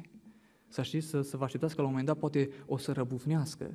Adică când sunteți, când aveți un pic de timp liber, nu îl dăruiți lor, nu uh, renunțați din, uh, la nimic din al vostru de dragul lor, ca să fiți împreună cu ele, ca să, să faceți lucruri frumoase împreună. Și uh, sportul, uh, ieșirea cu băieții, dacă sunt acasă și n-am nimic, nicăieri de mers, o să stau în fața unui computer ca să văd nu știu ce, ca să vizionez nu știu ce, în loc să-i acord timp soției tale, în loc ca uh, ea să fie prioritate pentru tine. Dragii mei, vreau să închei spunându-vă că unde e prezent Hristos, acolo e iubire și supunere. Și Dumnezeu să vă ajute și pe voi și pe noi. Amin. Mulțumim Domnului și fratelui Paul Sălmărean pentru aceste cuvinte care le-a dus din partea Domnului. Din toată inima să spunem Dumnezeu să-L binecuvinteze. Continuăm să stăm înaintea Domnului. Frații Sădmărean vor lăuda pe Domnul cu o cântare. Dumnezeu să-i binecuvinteze. Corul bisericii, de asemenea, va cânta pentru slava lui Dumnezeu. Apoi mai avem o surpriză plăcută și mirele cântă astăzi. Iosif, să nu numai astăzi. Și nu numai la biserică. Să continui să cânți și acasă, să cânți în familie și Dumnezeu să te binecuvinteze. Fratele Ghearmati împreună cu Iosif vor lăuda pe Domnul cu o cântare, un solo, Domnul să-i binecuvinteze. Apoi Naomi Bojor cu un grup, uh, probabil de fete, de băieți, de asemenea vor cânta pentru slava Domnului și fanfara va mai lăuda pe Domnul cu o cântare. În timpul acesta să ne închinăm și cu darurile noastre de bună voie uh, pentru susținerea lucrării Domnului din locul acesta și după toate acestea ne rugăm Domnul să-l binecuvinteze pe fratele păstor, pe fratele Elisei Bora, în mărturisirea cuvântului sfânt al Scripturii. Dumnezeu să-l întărească și Domnul să ne binecuvinteze pe toți. Amin.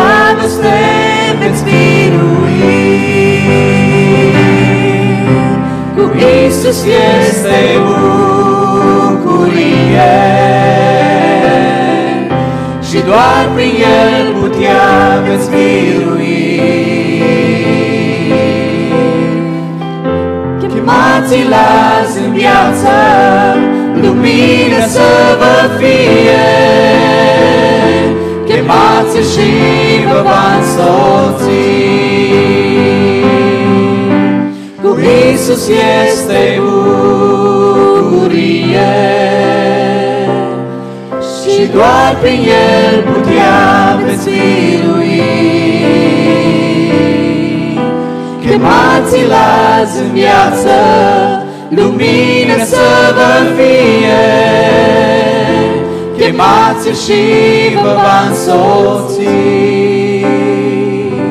Vă va însoți.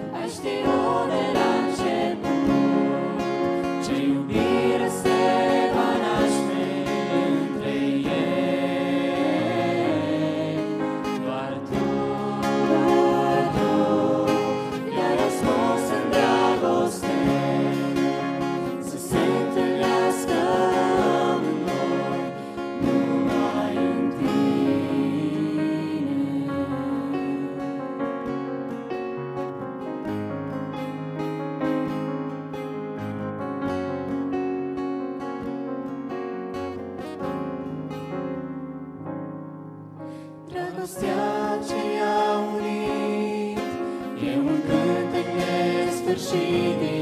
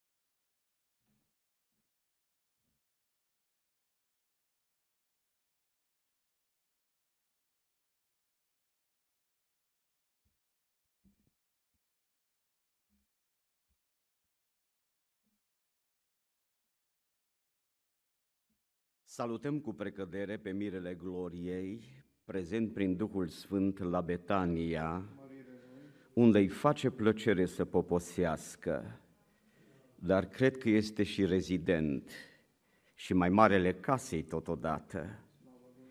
Îl salutăm prin Duhul Sfânt în mijlocul nostru și în numele Lui îi salutăm pe iubiții miri, care astăzi sunt la altar în prezența celui ce cunună într-un colț de rai și numai într-un colț de rai, ne bucurăm de voi, de tine Iosif, care înseamnă adaus și ești adaus la rândul răscumpăraților și ne bucurăm de tine Iulia.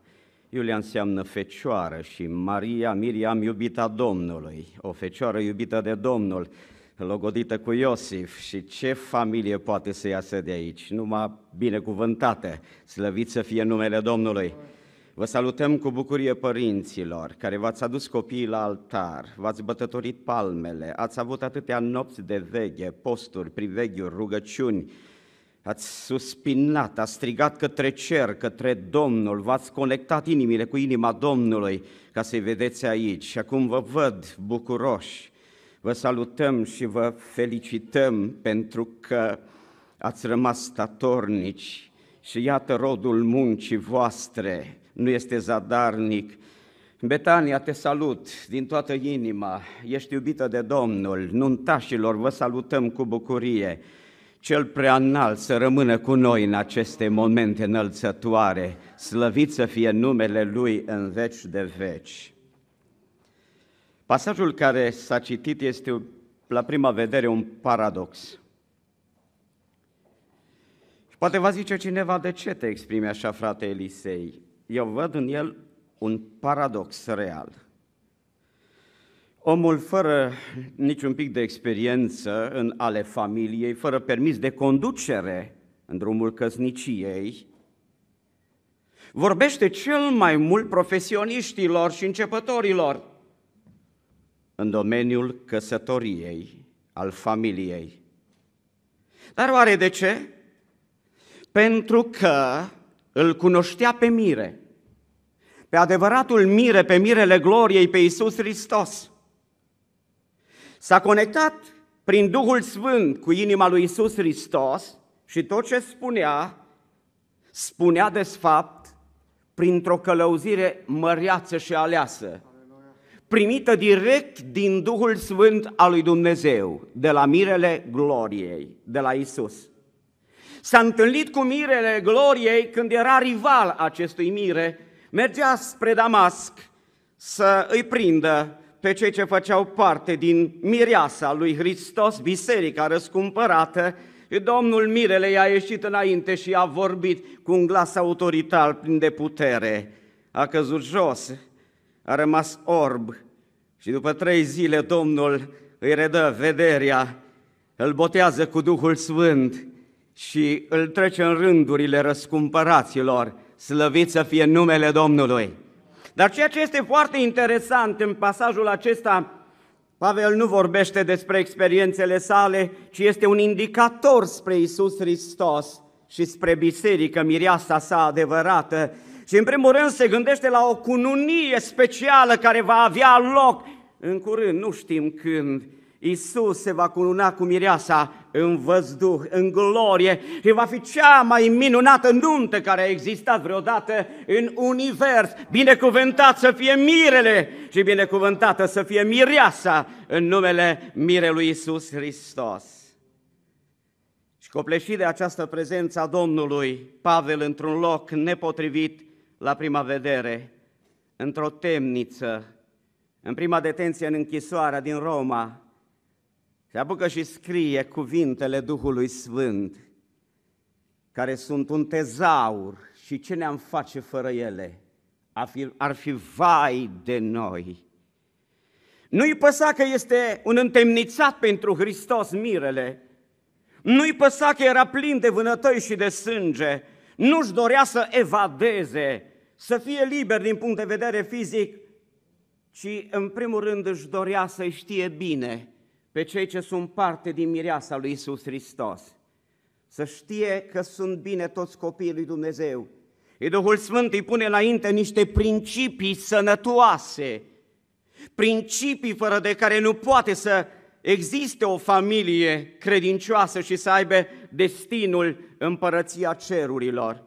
Și aș vrea, cu ajutorul Scripturii și a Duhului Sfânt, din pasajul care a fost citit să desprindem câteva principii dumnezeiești, fără care familia eșuează. Primul rând, cuvântul Domnului vrea să ne vorbească despre un principiu al unei relații sănătoase.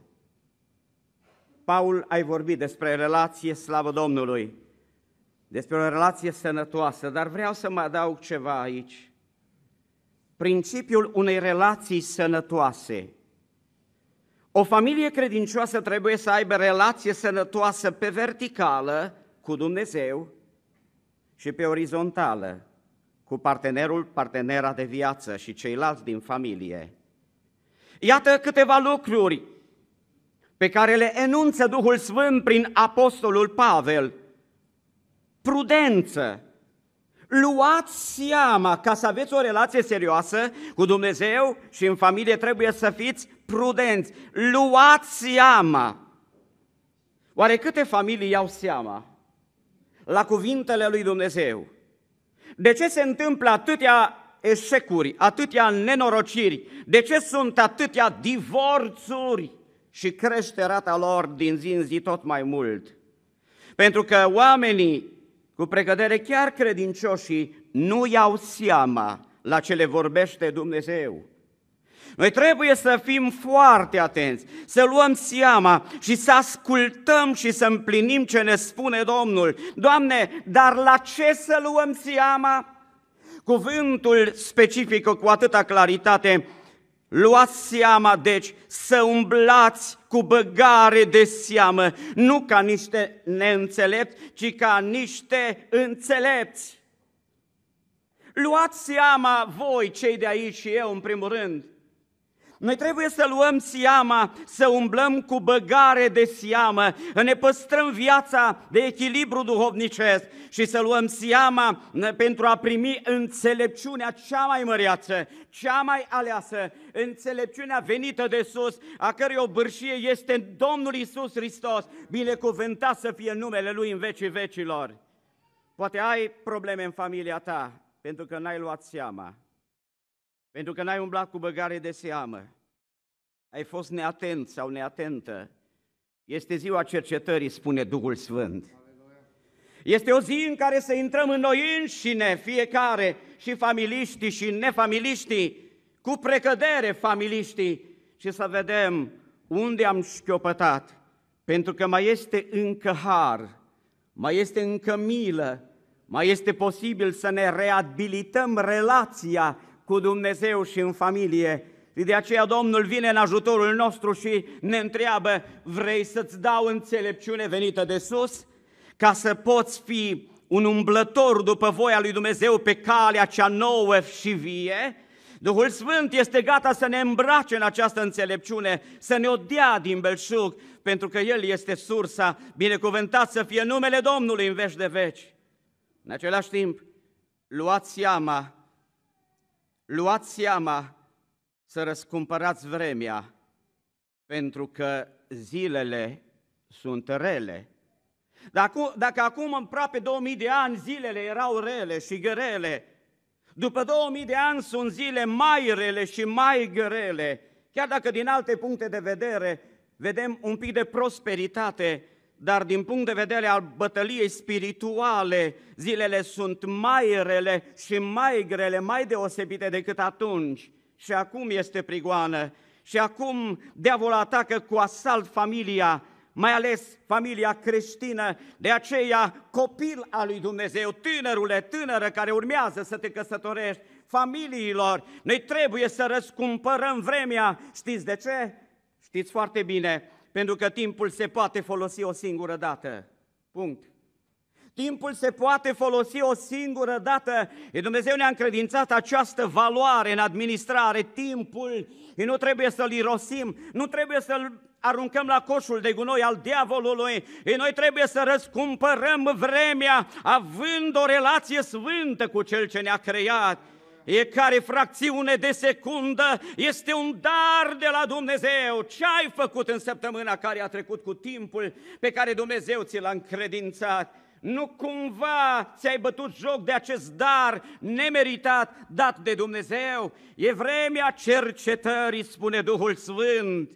Nu fiți nepricepuți, ci înțelegeți care este voia lui Dumnezeu. Într-o relație corectă, noi trebuie să înțelegem care este voia lui Dumnezeu cu mine, cu noi ca biserică. Voia lui Dumnezeu este bună, este plăcută și este desăvârșită. Nu ieși din voia lui Dumnezeu, pentru că te pui singur în pericol și fiarele sălbatice, duhurile răutății, te vor ataca din toate direcțiile dacă vei ieși din voia lui Dumnezeu. În fiecare dimineață, voi, tinerilor, care astăzi formați o familie fericită și binecuvântată, întrebați-L pe Domnul, începeți-vă ziua în felul acesta și nu doar voi, ci noi toți. Ame, care este voia ta pentru mine astăzi?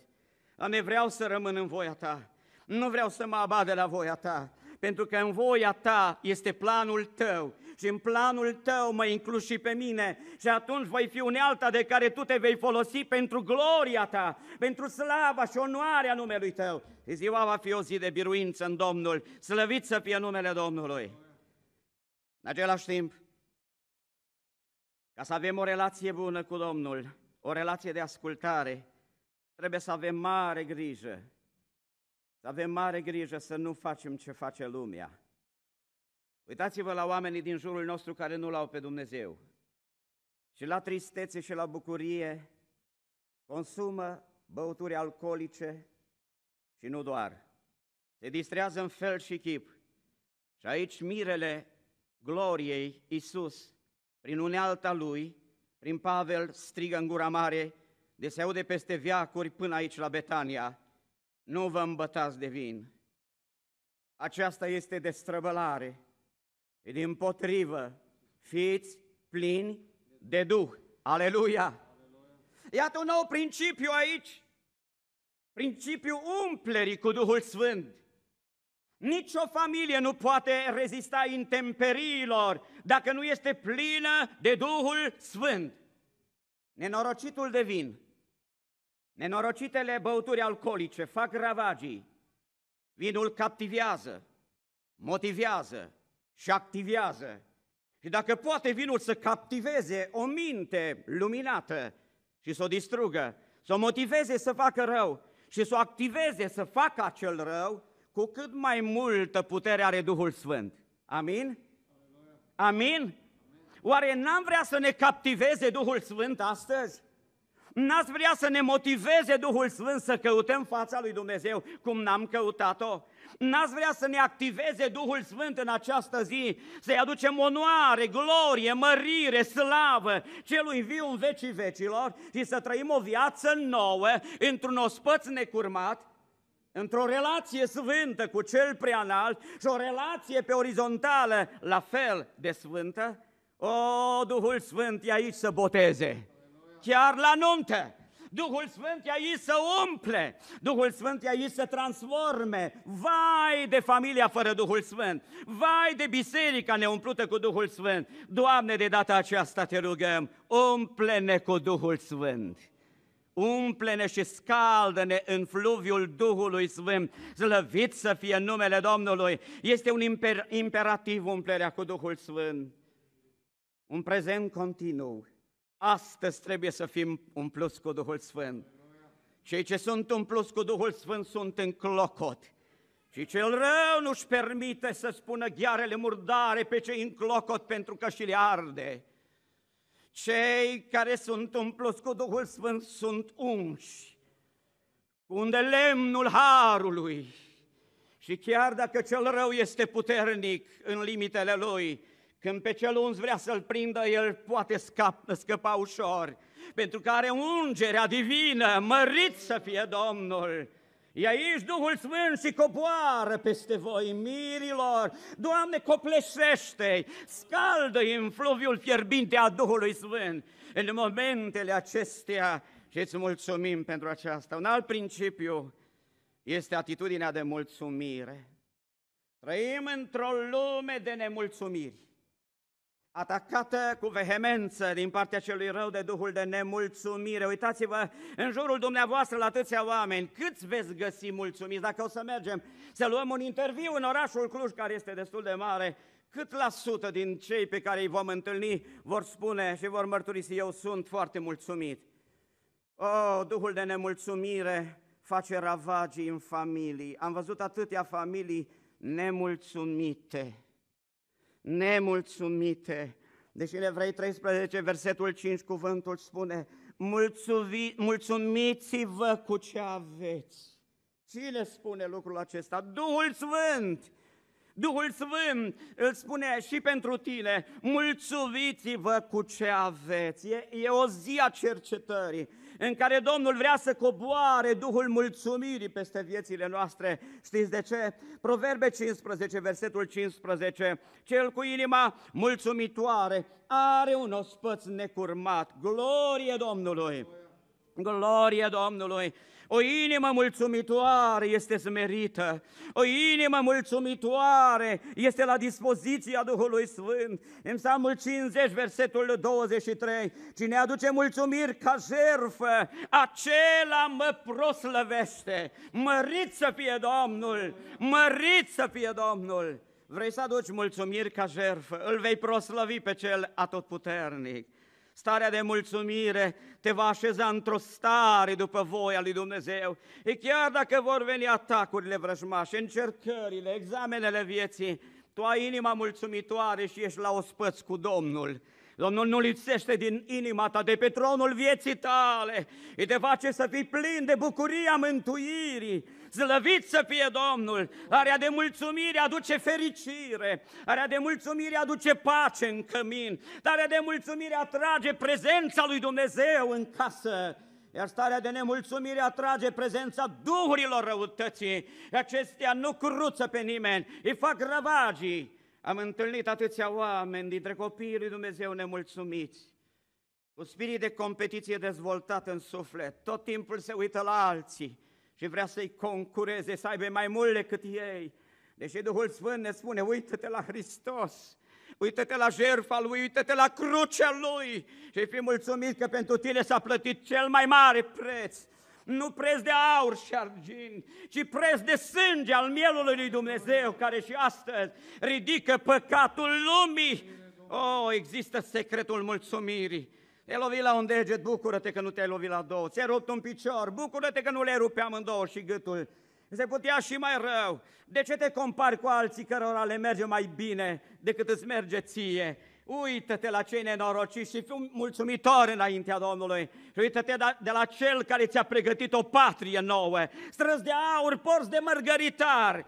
Îngeri te vor aștepta. Mirele glorie cu care ne vom întâlni. Ne va cuprinde în brațele Lui dumnezeiești. Ne va da un sărut al iubirii când ne vom cunua cu El acolo. În glorie, în slavă, în mărire, în splendoarea de nedescris. Fii mulțumit cu ce ți-a dat Domnul în casa ta. Bine bine dacă poți să ai mai mult, Domnul nu se va supăra pe tine, dar nu uita de săracul care trăiește într-o colibă, nu uita de văduvă, nu uita de orfanul care plânge după mama și după tata și n-a simțit niciun alin niciodată de la nimeni. Oh, fi mulțumit, fi mulțumit. Acum Duhul Sfânt vrea să aducă o stare de mulțumire peste inima poporului lui Dumnezeu. Coboară Duhul Sfinte un duh de mulțumire un duc de liniște și de pace, de siguranță, de protecție peste acești miri minunați care sunt așa de obosiți pentru că zilele acestea s-au zbătut așa de mult ca să iese totul bine. Am fost în pielea voastră, știu ce înseamnă. Dar, Doamne, apropie-te de fiecare Aleluia. Și dacă sunt oameni nemulțumitori de conducerea bisericii, de modul cum se desfășoară activitatea în biserică, în afara bisericii, de locul de muncă, de casă, de mașină, de nu știu ce, Doamne, te rog, ia Duhul de nemulțumire și aruncă așa de departe, cum este răsăritul de apus. Și adu, Doamne, mulțumirea care vine din inima ta. Tu și pe cruce ai fost mulțumit și te-ai rugat pentru nemulțumiți. Tată, iartă-i că nu știu ce fac. Și am fost iertat, slăvit să fie numele Domnului. Un alt principiu de bază care a fost amintit deja este principiul comunicării corecte în familie. Frați și surori, ascultați-mă bine că nu vă spun de la mine. Din experiențele personale, deși am 40 de ani de căsnicie, ei și soția. Mulțumesc Domnului că mi-a dat o fică de rege. Nu suntem desăvârșiți, dar încercăm să comunicăm să comunicăm unul cu celălalt ca să plăcem amândoi Domnului. Comunicarea corectă rezolvă foarte multe situații limită. Biserica lui Iisus Hristos. Ești poporul răscumpărat. Noi ne tragem o bârșia din Dumnezeu. Domnul a pregătit o patrie extraordinară, în cer pentru noi. Și noi trebuie să folosim vocabularul ceresc pentru că suntem copii de Dumnezeu. De ce folosești vocabularul celui rău în casa ta, spune Duhul Sfânt? Și spui că ești copilul lui Dumnezeu, fica Domnului, dar vorbești ca lumea. Știi cât de tare dor cuvintele, mai tare decât loviturile fizice. O piatră poți să o iei, dintr-un loc o arunci, te uiți unde a căzut, te duci o iei și o pui înapoi. Dar un cuvânt care l-ai aruncat ca o săgeată împotriva soției tale, a soțului tău, a copiilor tăi, a părinților tăi, nu se mai poate întoarce înapoi. Și vine vremea socotelilor, când oamenii au să dea socotială de fiecare cuvânt nefolositor, spune Duhul Sfânt. Că așa a spus mirele Iisus Hristos, Matei 12, versetul 36, în cuvintele tale vei fi scos fără vină și tot prin cuvintele tale vei fi osândit. De ce? De ce nu vorbești frumos în casa ta? Cât costă un cuvânt frumos? Nu te costă nimic. Dar știți ce valoare are un cuvânt duhovnicesc? Citiți, vă rog, acasă Proverbe 25, versetul 11. Un cuvânt spus la vremea lui, un cuvânt bun spus la vremea lui, este ca niște mere de aur într-un coș de argint. Iată ce valoare au cuvintele duhovnicești. De ce nu schimbi vocabularul?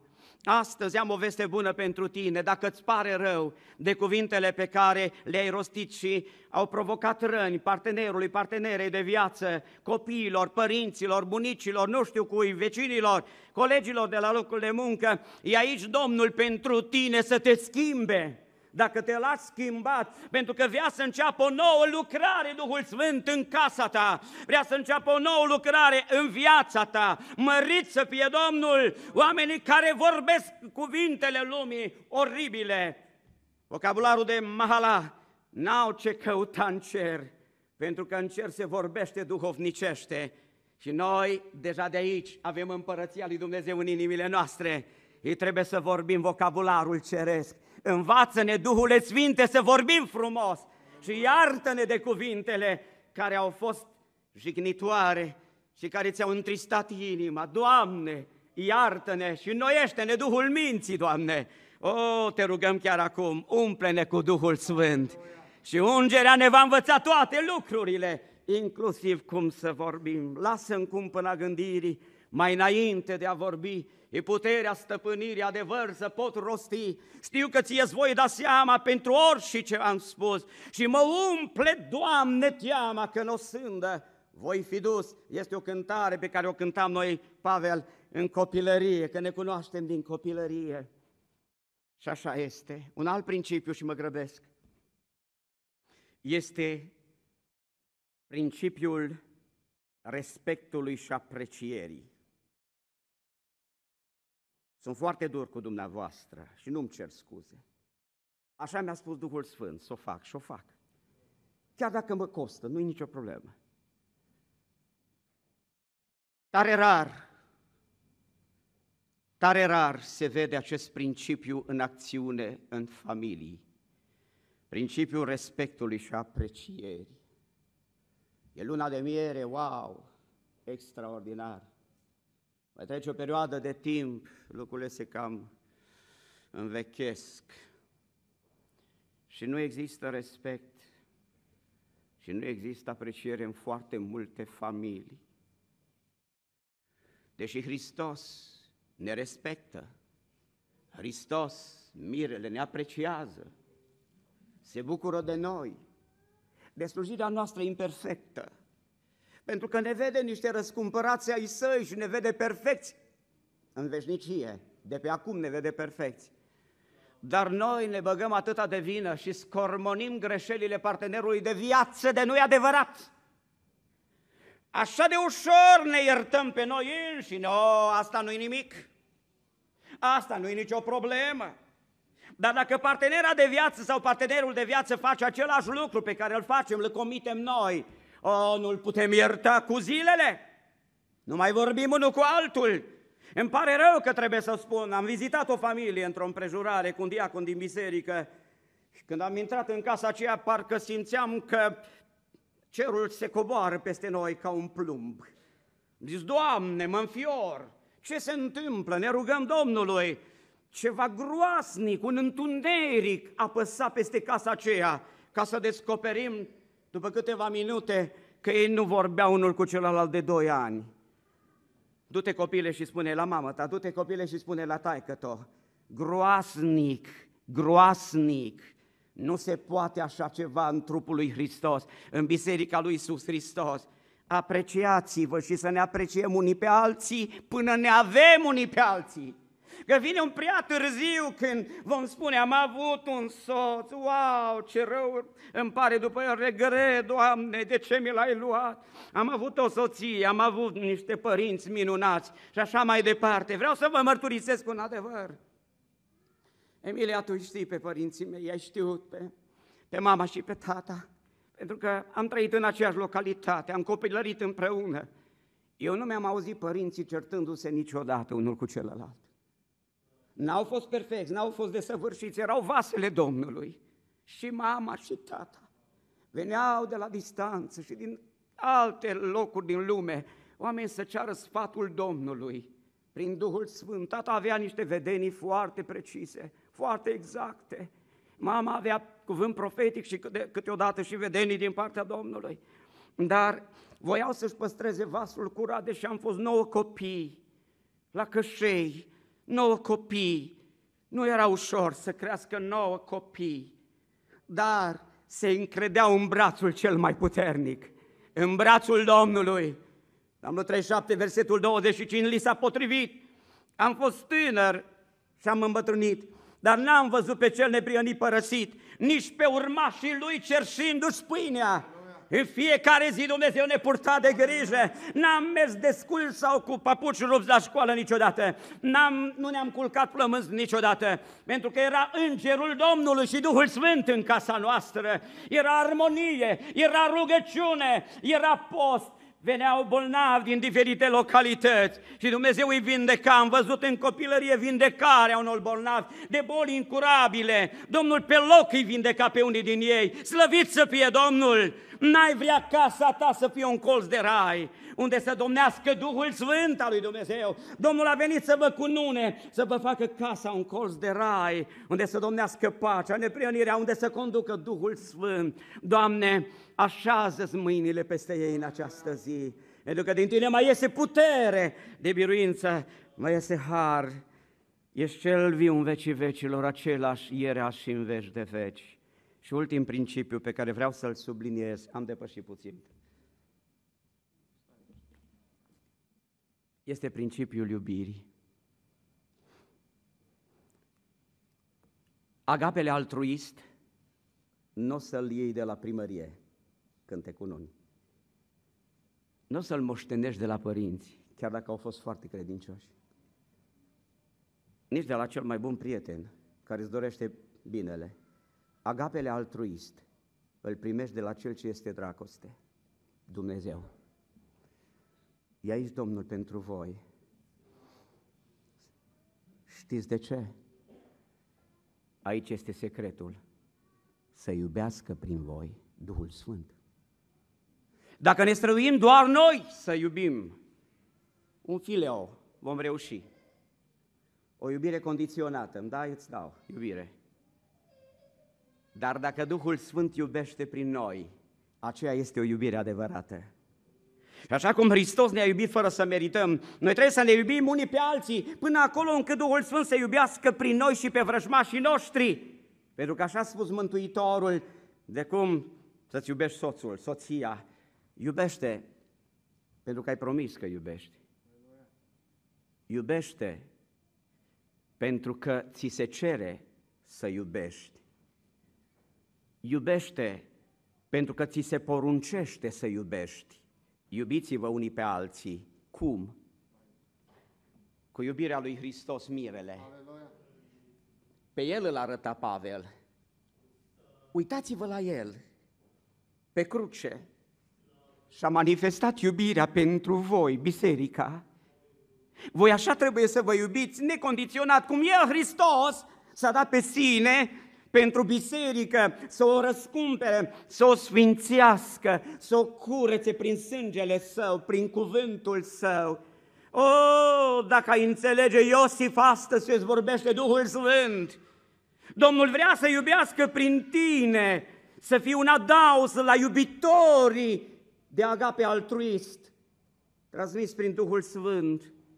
O, oh, Iulia, Domnul vrea să iubească prin tine, E aici Duhul Sfânt și te atinge și pe tine în această zi, când în familie este iubirea, agapea lui Dumnezeu, necondiționată, acolo domnește slava lui Dumnezeu.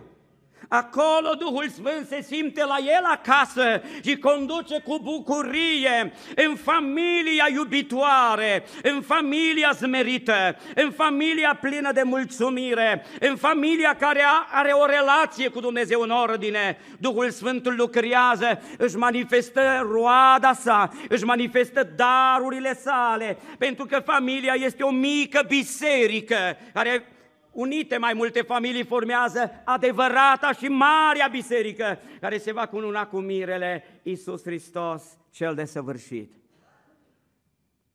Nu știu cum funcționează iubirea în casa ta. Nu știu, dar Iisus știe. Duhul Sfânt cunoaște toate detaliile. Nu știu când i-ai spus soției tale ultima dată că o iubești. Și ai și dovedit. Nu știu când ai spus soțului tău ultima dată că îl iubești și ai și dovedit. Acum și aici Duhul Sfânt vrea să te ajute să iubești prin El. Vrea să te ajute să iubești prin El, necondiționat. Și atunci în căminul vostru slava lui Dumnezeu va dăinui. Puterea celui preanalt va fi eficientă și evidentă și nu veți fi doar binecuvântați. Subliniez acest adevăr și o să închei. Nu veți fi doar binecuvântați, este prea puțin pentru Dumnezeu să fiți binecuvântați, ci veți fi voi înși vă o binecuvântare pentru alții. O sursă de binecuvântare venită de la Dumnezeu va trece prin voi, pentru că din inima lor vor curge ce? Râuri de amărăciune, de întristare, de neputință. Nu! Râuri de apă vie, cum zice Scriptura. Binecuvântat să fie Domnul! Doamne, cu ai Tu. Peste mâinile slujitorilor să fie mâinile Tale. Harul Tău să însoțească și toată viața să se fericească unul pe celălalt. Ajutați-vă să crește spiritual, nu vă doborâți, ci ajutați-vă să crește spiritual și într-o zi preotul familiei, care are menirea să țină legătura cu cerul și să-și apere familia, va spune Iosif, adică, Doamne, sunt aici cu toată familia pe care Tu mi-ai dat-o și Domnul se va bucura și va spune, intrați în bucuria stăpânului vostru, amin. Mulțumim Domnului și fratelui păstor, fratelui Elisei Bora, pentru aceste cuvinte pline de har care le-a dus din partea Domnului. Dumnezeu să-l binecuvinteze. Ce ai depășit, recuperăm noi la Mediaș, când Domnul pregătește. Mă gândeam, frate Pavel, că la un moment dat, în urmă cu mulți ani, eram pe scorțarilor și a venit uh, familia Pârlea. Nu știu dacă voi vă amintiți momentul acela. Erați ceva mai tineri și noi cred că eram puțin mai tineri. Și tu erai ceva mai mică. Copiii erau ceva mai mici. Ne-au spus despre povestea lor, despre faptul că s-au mutat la Feleac, că vin din biserica din Media și unde este fratele păstor, fratele Bora. Și probabil că au mai colindat și alte biserici și și-au exprimat dorința să vină la biserica noastră ca și membri. Și eu am spus, nu cred că este corect să faceți naveta din Feleac. Acolo este o biserică în zonă, este bine să vă integrați acolo și copiii voștri vor fi un viitor acolo în biserică. Voi, dacă slujiți, sunteți oameni de echilibru și o biserică mai mică are nevoie mai multă de voi decât o biserică mare. După ce ne-am despărțit, fratele Pavel a fost puțin nemulțumit și a zis, mă, cum ai vorbit așa cu oamenii ăștia? Noi trebuie să-i primim cu drag. Păi, Pavel, îi primim cu drag, dar eu m-am gândit la un principiu al slujirii. Măi, bine oamenii ăștia să vină aici membri. Nu știu, ai simțit ceva? Ai pus de atunci ceva la cale? Ai avut vreo călăuzire? Dar așa în ani, n-am spus niciodată lucrul acesta. În ani când am văzut că Iulia este prietenă cu Iosif, Iosif cu Iulia, așa m-am gândit mereu la momentul acela. Sunt momente când avem sclipire așa din partea lui Dumnezeu și poate a fost una dintre sclipirile tale. Slăvit să fie Domnul! Un singur verset, Iosif și Iulia, vreau să-l citesc și să spun câteva cuvinte și apoi ne vom... 9 din Eclesiastru, capitolul 4. Mai bine doi decât unul. Căci au o plată cu atât mai bună pentru munca lor. Frate, dar nu înțelege astăzi asta? Că e mai bine doi? Sora Mirela, înțelegi? Frate Pavel, sora Emilia, înțelegeți? Asta nu înseamnă că la voi n-a fost bine. Asta nu înseamnă că în familia Sălmărean Iosif nu s-a simțit bine. Asta nu înseamnă că în familia Pârlea ă, Iulia nu s-a simțit bine. Nu înseamnă asta. Dar aceasta este dumnezeiesc și este din partea lui Dumnezeu. Mai bine, doi. Vă căsătoriți astăzi ca să fie mai bine. Vreți să fie mai bine? Se poate mai bine? S-ar putea să aveți pretenția spre domnule, ca și la noi acasă, să fie mai bine, da. Să plece Iulia, așa cum era poezia extraordinară, mulțumim, felicitări, Domnul să te bine. Pleci din casa noastră ca să-ți faci căminul tău. De ce? Ca să fie mai bine. Și vreau în această zi doar trei gânduri să le dezvolt scurt. Cum cred eu că se poate să fie mai bine. Cunosc amândouă familii, mi prieteni, știu multe din familia dumnealor lucruri bune, bineînțeles. Știu că a fost și este bine, știu strădania ca și dumneavoastră, alergarea și dorința să fie bine. Dar de astăzi vrea Domnul Iosif și Iulia să fie mai bine. Să nu vă supărați. Să nu vă supărați. Uite, Iulia se căsătorește, frate Dan, sora Mirela, ca să-i fie mai bine. Iosif se căsătorește, frate Pavel, sora Emilia, să-i fie mai bine. Și lucrul acesta este o realitate a Bibliei, nu a mea, nu o gândire omenească. Este de la Dumnezeu. Mai bine doi. Și vreau să spun în această zi, în primul rând, e mai bine doi dacă la voi va fi armonie. M-am uitat în dicționarul limbii române să văd ce înseamnă cuvântul armonie.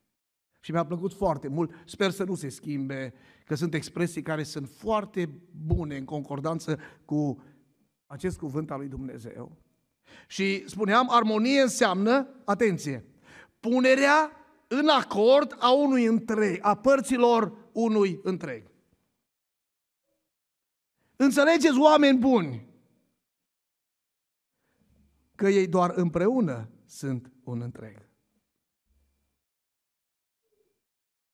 Punerea în acord a părților unui întreg. De astăzi, o parte se pune în acord cu o altă parte și ei doi devin un întreg. Biblic, nu-i așa? Se va despărți sau dezlipi de familia lui, de mama, de tata, se va alipi de nevastă sa și cei doi vor fi câți? Un singur trup. Asta înseamnă armonie. Dumnezeu să vă binecuvinteze. De astăzi înainte, când o vorbești de bine pe Iulia, îl vorbești și pe Iosif de bine. Când îi faci bine lui Iosif, îi faci bine și Iuliei. De azi înainte, cei doi vor fi unul singur. Pentru că ne spune cuvântul lui Dumnezeu, deși în societatea în care trăim, această dependență nu există. În societatea în care trăim se promovează independența. Fiecare cu banii lui, fiecare cu afacerile lui, fiecare cu prietenul lui, fiecare cu întâlnirile lui, fiecare cu, cu proiectele lui. Aceasta este societatea. Dar noi aici suntem să promovăm, se spunea, principiile dumnezeiești sub călăuzirea Duhului Sfânt. Și spunem, lăudat să fie Domnul. Și înaintea lui Dumnezeu citesc 1 Corinteni, capitolul 11, versetul, 11, versetul 11 și auziți ce spune cuvântul lui Dumnezeu. Totuși în Domnul. Vrem ca familia voastră să rămână în Domnul. Și vreau să spuneți amin din toată inima.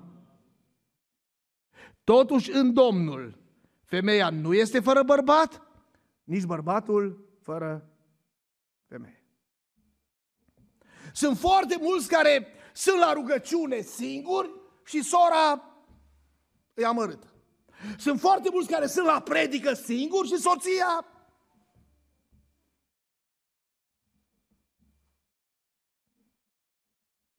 armonie. Să fie mai bine. Dar să fie armonie. Să puneți împreună aceste părți ale unui întreg și voi doi să fiți unul, unul în gândire, în principii, în lucrurile pe care Dumnezeu vă cheamă și mă rog din toată inima Dumnezeu să vă binecuvinteze. Iov era number one. Să știți că există o competiție pentru number one. Și pe plan economic și pe plan profesional și în sfârșit. Dintre fiii răsăritului, Iov era number one, numărul unu. Când Iov apărea undeva într-o adunare, toți își opreau cuvântările, probabil se ridicau în picioare și respectau pe Iov. Numai că din nefericire, el n-a avut armonie cu soția lui. Și în momentul în care a ajuns să nu mai aibă nimic, într-o perioadă relativ scurtă, și să se găsească pe un gunoi mângâindu-și rănile cu un ciob, într-o zi a fost vizitat de soția lui.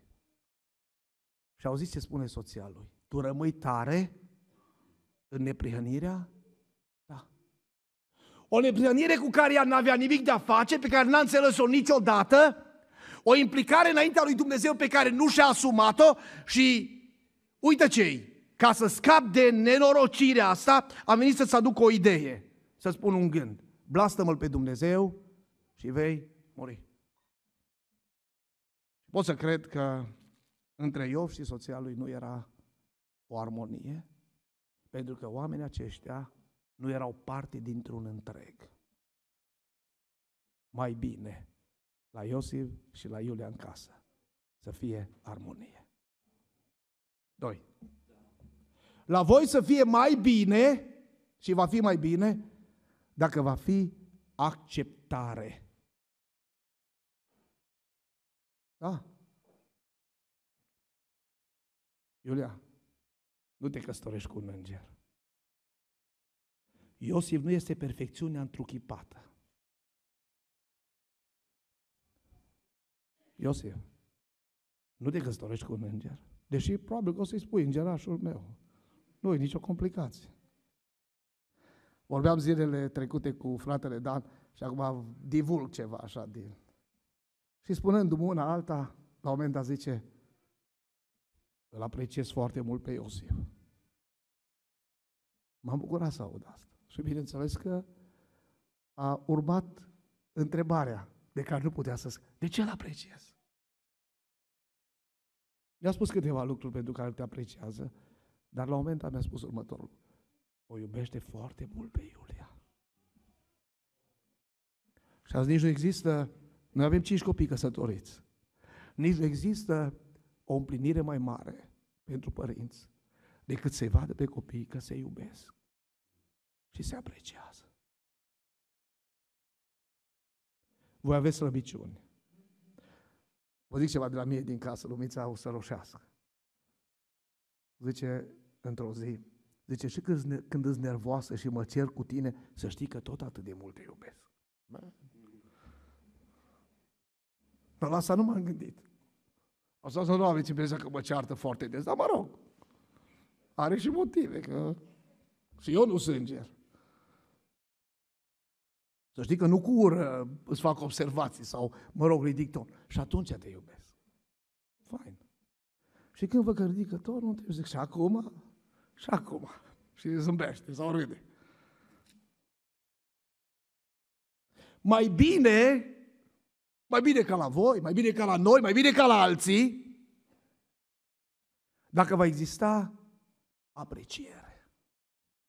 Și sigur că se spune aici, la început se apreciază și omule, eu mă și mir așa, și am mai spus-o, ăștia, nu știu de unde scot așa cuvinte, hani, iubi, nu știu, te sperii, domnule, bă, extraordinar. Domnule, să țină!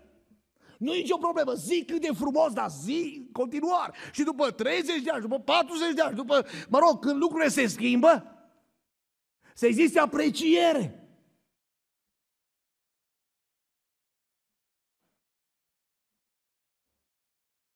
va fi mai bine la voi.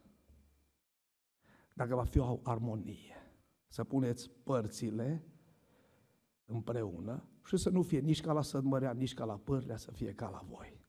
Și la voi să fie mai bine. Dacă veți ști să vă apreciați.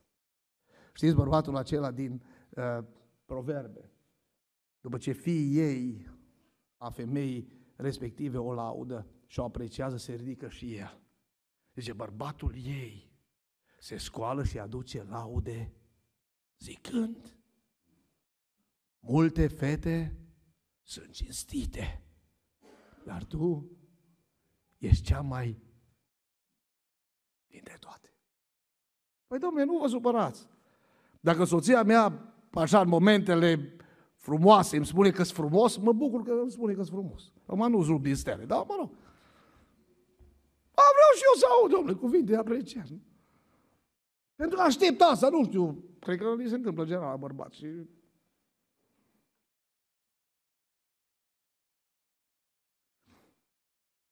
Și trei, va fi la voi mai bine dacă va fi la voi, Iosif, te rog să fii foarte atent. Acompaniere. Ai auzit de cuvântul ăsta? Da, mă sigur? Păi e simplu dacă ai auzit. Și dacă mi-ai făcut ceva școală, mai pricep mai mult decât mine, aproape că nici nu trebuie să-l dezvolt foarte mult. Să fie acompaniere. Și acompaniere înseamnă să pui așa în armonie o melodie cu o altă melodie. Nu cânta numai melodia ta. Lasă să cânte și melodia ei. Iulia nu cânta numai melodia. Lasă cânte și melodia. Încercați să vă puneți melodiile împreună. Și asta înseamnă, cel puțin așa am citit eu, dar dacă n-am citit bine, tu poți să mai perfectezi, că nici nu...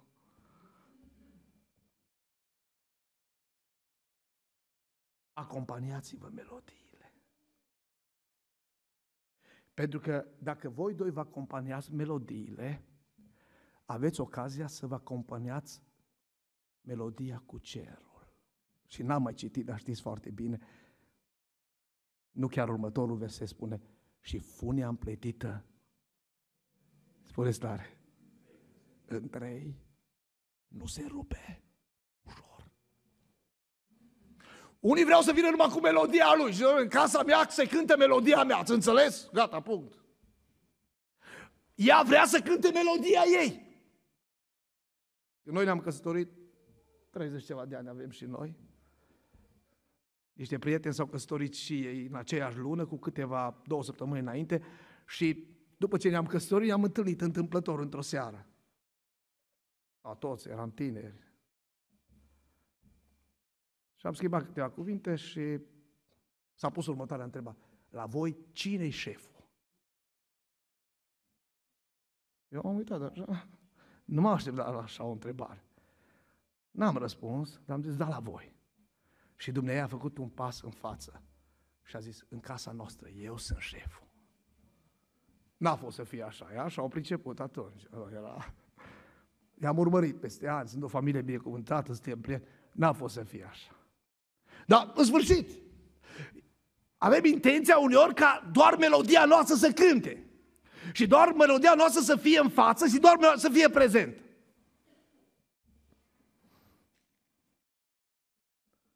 Acompaniați-o melodiile.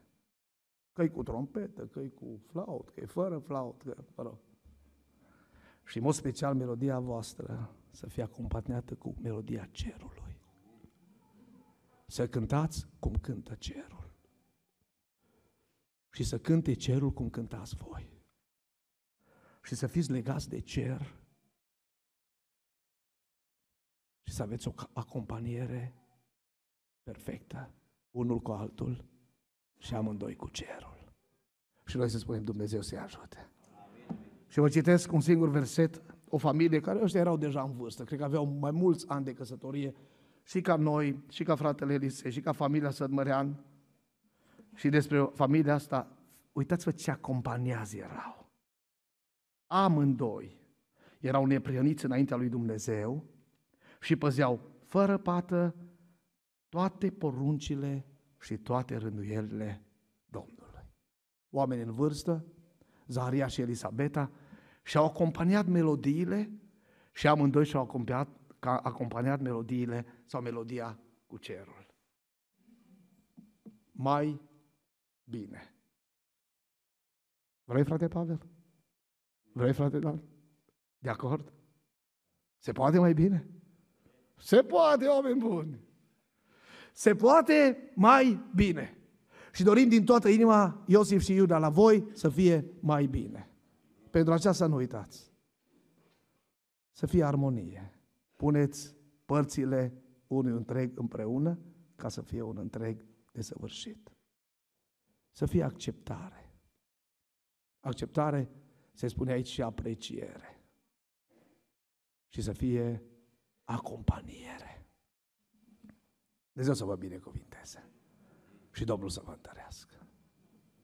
Aș vrea să trecem la momentul solemn al acestei zile, când uh, voi veți răspunde și vă răspunde bine. Să știți că Iulia așa ca s-a răspuns. Apropo, Paul amintea despre momentul acela și a fost întrebată fata, vrei să te duci cu omul acesta? Păi Iulia nici nu a lăsat să termin întrebarea. Sunt unii care sunt martori aici. Au zis, da. Bine că știam că așa răspunde, dar Mă rog, sunt momentele astea extraordinare și trebuie să le fructificăm și să ne bucurăm de ele. Asta nu înseamnă că Iosif nu are aceeași părere. Așa că vă vom pune întrebări. Eu vă voi pune întrebările. Și cei doi, cei, doi, cei doi frați păstori, fratele Elisei Bora și tata. Nu știu cum o să-i zici la Pavel. Dar dacă cum o să-i zică tati sau cumva să nu te deranjeze. Că sună bine pentru ureche, știi? Că... Da. Dar nimeni nu se roagă ca și părinții. Noi ne rugăm, suntem prieteni. Ce vreți voi? Părinții se roagă special. Și fratele Pavel este binecuvântat de Domnul să fie și slujitor. Așa cum am spus, împreună cu fratele Elisei, vor rosti rugăciunea cu punerea mâinilor și Domnul este aici să binecuvinteze. Mări să fie Domnul. Haideți să stăm ridicați.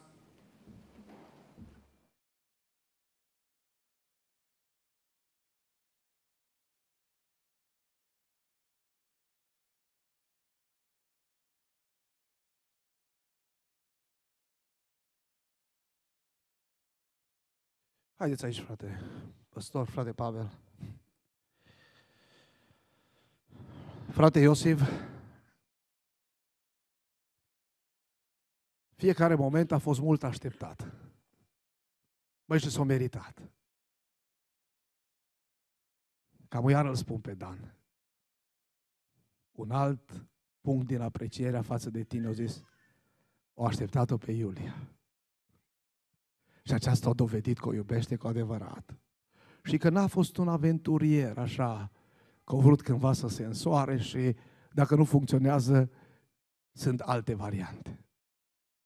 A știut că Iulia e pentru el. Și a fost atent și a fost cu răbdare. Și te felicit pentru asta. Și vă felicit pe amândoi. Tinerii aceștia au venit cu frică de Dumnezeu aici. Și au venit ca înaintea lui Dumnezeu. Ascultați-mă, am stat de vorbă cu ei și îi cred din toată inima. Și a spus, frate Pujor, n-a fost simplu, dar Dumnezeu ne-a dat putere. Felicitări! Mărit să fie Domnul! În momentul acesta mult aștepta frate Iosif înaintea lui Dumnezeu, înaintea Bisericii Domnului, în fața propriei tale conștiințe și în fața alesei inimii tale, sora Iulia Maria. Vreau să te întreb. Din dragoste curată și nesilită de vreun, nesilit de vreo împrejurare din lumea aceasta, o iei pe sora Iulia Maria ca să fie de astăzi soția ta? Da. Domnul să te binecuvinteze. Vreau să te mai întreb, s-a citit astăzi și fratele păstor a predicat. Noi bărbații și de astăzi intri în rândul bărbaților, suntem chemați să ne iubim soțiile noastre, adică tu să o iubești pe Iulia. Și modelul este Domnul Isus Hristos, așa cum și-a iubit Hristos biserica. Gata pentru supremul sacrificiu? Ești gata să aplici acest principiu în viața voastră de familie? Și dacă trebuie să o iubești pe Iulia până la supremul sacrificiu, ești gata? Da. Domnul să te ajute. Și vreau să te mai întreb legământul acesta, care are valoare de, de jurământ înaintea lui Dumnezeu. Până când ești hotărât să-L păstrezi curat, slujind Domnului cu bucurie, alături de aleasa inimii tale, de Iulia Maria. Până când? Pentru totdeauna. Să spunem din toată inima, Dumnezeu să-L binecuvinteze și Domnul să-L ajute. Sora Iulia, știu că nu te aștepta la un alt răspuns. Înaintea Domnului, înaintea martor văzuți și nevăzuți, în fața Bisericii lui Dumnezeu, în fața părinților și a propriei tale conștiințe, vreau să te întreb și pe tine. Dacă din dragoste curată și nesilită de vreo împrejurare din lumea aceasta, te duci de astăzi după fratele Iosif ca să fii soția lui. Da. Dumnezeu să te binecuvinteze. La Biblie am găsit scris că nevestele și intri în rândul nevestelor, trebuie să fie supuse soților lor, atenție, în toate lucrurile ca Domnului. S-ar putea Iosif să mai fie cu piciorul pe frână. S-ar putea uneori să nu pornească așa cum îți dorești. Vei fi gata ca în familia voastră să fii supus în toate lucrurile ca Domnului? Ești gata pentru asta? Da. Dumnezeu să te ajute și Domnul să te întărească. Sora Iulia, legământul acesta care are valoare de jurământ, până când ești hotărâtă să-l păstrezi curat, slujind Domnului alături de alesul inimii tale, Iosif Dorin. Până când? Pentru toată viața. Dumnezeu să o ajute. Și Domnul să-i binecuvinteze. Frate Iosif Dorin și sora Iulia Maria. În urma răspunsului pe care l-ați dat înaintea lui Dumnezeu, frații slujitori, așa cum am spus, cu punerea mâinilor, vor rosti rugăciunea de binecuvântare și Domnul este aici să vă binecuvinteze. Vă rog să îngenuncheați.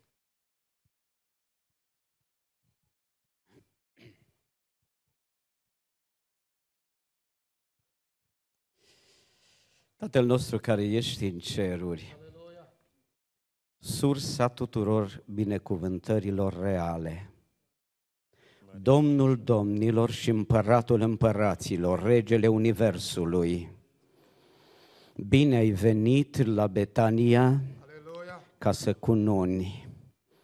Ai cununat pe primii oameni pe care i-ai creat în Eden și ai creat atmosferă cerească în multe edenuri duhovnicești și ai creat și atmosfera duhovnicească de aici prin Duhul Sfânt la Betania și peste mâinile slujitorilor tăi sunt mâinile tale în numele lui Isus și prin Duhul Sfânt care radiază binecuvântarea adevărată. Îți mulțumim că în momentele acestea cerul este deschis și plouă ploaie târzia Duhului Sfânt peste viața lor o, îți mulțumim că relația lor se intensifică și se unesc în harul tău. Îi formează de astăzi o familie binecuvântată și o binecuvântare pentru alte familii. O, îți mulțumim că îi binecuvintezi cu binecuvântările cerului de sus, cu binecuvântările pământului și apelor de jos. Îi binecuvintezi la plecare și la sosire de acum și până în viac Punem numele Tău peste ei ca o pecete sfântă. O, fi cel care să conduci destinul vieții lor, familia lor să fie condusă de Duhul Sfânt, să fie o oază de binecuvântare, un colț de rai. Ferește-i, te rugăm, de accidente, de boli incurabile, de puterile demonice, de oameni răi cu intenții rele, umple de lumină, de înțelepciune, de Duhul Tău cel Sfânt, de un Duh de smerenie, de ascultare, de cuvântul Tău, de orânduirile Tale. Ajută-i să se aprecieze unul pe celălalt, să fie mulțumitori înaintea Ta, să fie, o Doamne, biruitori în orice ispitire și în orice încercare, să se țină legați de făgăduințele Tale în fiecare zi, să fie iubitori de cuvântul Tău, de închinarea în Duh și în adevăr. Și Duhule Sfinte, te rog, iubește Tu prin ei. Îți mulțumim frumos și te lăudăm. Simțim o putere specială, prezența ta, Shelogoreman, Eliheid, Ivius Nabaraliodeșel. Îți mulțumim frumos că i-ai cununat, i-ai binecuvântat. Mulțumim pentru părinții care au crescut. Mulțumim pentru bunici. Îți mulțumim pentru toți cei de aproape, de departe. Îți mulțumim pentru toate familiile. E, Doamne, te rugăm astăzi repară relații, vindecă familii, proslăvește numele și te vom onora și te vom binecuvânta din toată inima în numele Lui Isus și în meritele sale, prin Duhul Sfânt. Amin. Venim înaintea Ta, Doamne. Îți mulțumesc că am harul ca și părinte și ca și slujitor să mă rog pentru Iosif și pentru Iulia. Astăzi Iosif în carte de mire și Iulia în carte de mireasă s-au plecat pe genunchi înaintea Ta ca să primească binecuvântarea Ta, Doamne. Ei știu și sunt convinși că numai Tu poți să dai binecuvântarea. De aceea am venit aici, la altar, să ceară din partea Ta binecuvântarea. Și mai știu ceva, că ceea ce binecuvântezi Tu rămâne binecuvântat. Doamne, fă să rămână sub binecuvântarea Ta, Doamne, sub protecția Ta divină, sub mâna Ta puternică, pentru că mâna Ta este mână puternică care ridică, vor avea nevoie de ridicare, așa cum a ridicat pe Petru dintre valuri. Ridică cu mâna ta, Doamne. Mâna ta îi protejează. Vor avea nevoie de protecția ta. Te rog, protejează-i, Doamne, cu mâna ta.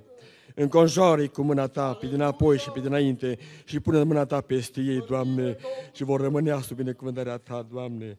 Lasă ungerea Ta peste ei, Doamne, protecția Ta, Doamne, te rog însoțește cu har, Doamne, dăruiește sănătate, dăruiește de putere, Doamne, să nu fie lipsit de nici de apă, nici de pâine, nici de îmbrăcăminte și harul Tău să călăuzească. Doamne, noi știm în Scriptură cât ai descoperit oamenilor, Doamne, sub numele de Jehova Rafa, Dumnezeu care vindecă.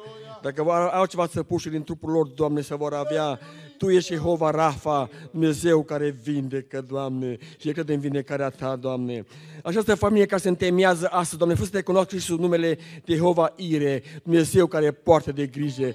Poartă de grijă, Doamne! I-ai purtat din copilărie și până acum și cred că în continuare îi vei purta de grijă, Doamne, pe brațul Tău, Doamne. De aceea îți mulțumesc pentru aceasta.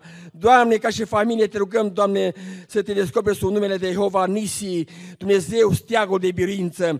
Vrem ca în casa care se temeiază, în, în această familie, Doamne, să fie steagul de biruință, Doamne, să se cânte cântări de slavă la adresa numele Tău, Doamne. Pentru că ai spus că în casa neprihănită se aude strigăte de biruință, Doamne, și strigăte de cântare spre slava Ta. Vrem, Doamne, ca steagul de biruință să fie în fiecare zi în casa lor, Doamne. Și apoi te mai rugăm ceva, Tu ești Dumnezeu care ești prezent aici, Jehova Shama, ești prezent acum și aici, care dai binecuvântarea și vrem ca prezența Ta să fie cu ei, Doamne, și ziua și noaptea, și când se vor culca și când se vor scula, când vor fi acasă și departe de casă, prezenta Ta să fie cu ei, Doamne, și eu îți mulțumesc, Doamne, îți mulțumesc din toată inima că Tu binecuvintezi, Doamne, binecuvintează-le, Doamne, părinții, Doamne, care s-au sacrificat, care s-au jertfit, care s-au consumat, Doamne, fratele Dan, sora Mirela, Doamne, binecuvintează pe ei, Doamne, și bunica lor, Doamne, și suriorile și frățiorii lor, Doamne, te rugăm să lași har de vindecare și pe sora Mirela, Doamne,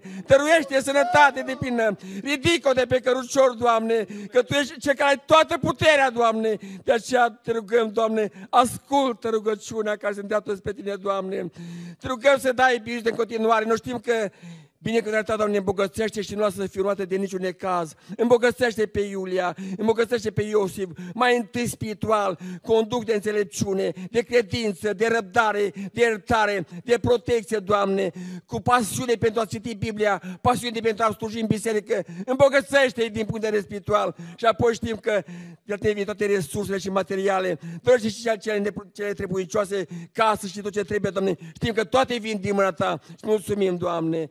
Nu ne trage de mâna de peste ei, dar vrem ca ei să fie mâna ta peste ei în fiecare zi, Doamne. Și harul tău și iubirea ta să fie peste ei. Când se vor ruga, se vor pleca pe genunchi amândoi. Doamne, răspunde la rugăciunea lor, Doamne. Și apoi când vei veni pe norii cerului, Doamne, vrem ca și familia Sălmărean și familia Pârlea să fie scriși în cartea ta, ca să ne putem lua zborul spre patria cerească, rămânând cu tine pentru veșnicie. Amin. Vă invit să vă ridicați. Frate Iosif, sora Iulia, în urma deciziei lui Dumnezeu, în urma înțelegerii din partea voastră și a familiilor din care veniți acestei decizii, în urma daului care l-a spus în fața ofițerului stării civile și aici înaintea Domnului, în fața Bisericii Domnului, și în urma rugăciunii cu punerea mâinilor din partea fraților slujitori și a binecuvântării pe care credem că Domnul va dărui-o, vă declarăm căsătoriți soț și soție. Dumnezeu să vă binecuvinteze. Frate Iosif, așa este ceremonial să-ți dau ție acest document. Se numește certificat de căsătorie.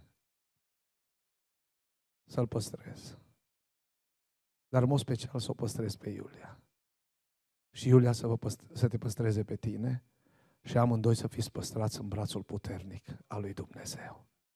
Doresc din toată inima Dumnezeu să vă binecuvinteze. Drumul căzniciei voastre, așa cum ne-am rugat și frații s-au rugat, să sfârșească în împărăția lui Dumnezeu. Nu-i mult și Domnul Isus va veni. Și predica fratele păstor, ne va cununa cu El în văzduh. Biserica se va întâlni cu mirele în văzduh. Pentru ziua aceea vrem să ne pregătim și fratele Pavel Sănmărean spunea în rugăciune să fie și numele familiei Sănmărean și a familiei Pârlea și a familiilor dumneavoastră, a fiecăruia și a noastră tuturor și nu numai, scriși în cartea aceea, ca în ziua binecuvântată să fim cu mirele nostru la nunta Domnului Isus Hristos, cu mireasa Lui, Biserica. Dumnezeu să ne binecuvinteze. Vrem să mulțumim Domnului pentru dimineața aceasta binecuvântată, pentru tot ceea ce Domnul ne-a dăruit. Îl rog pe fratele Gicu Isai să rostească această rugăciune cu voce tare și să ne încredințeze la despărțire în brațul puternic al Dumnezeului nostru la despărțire.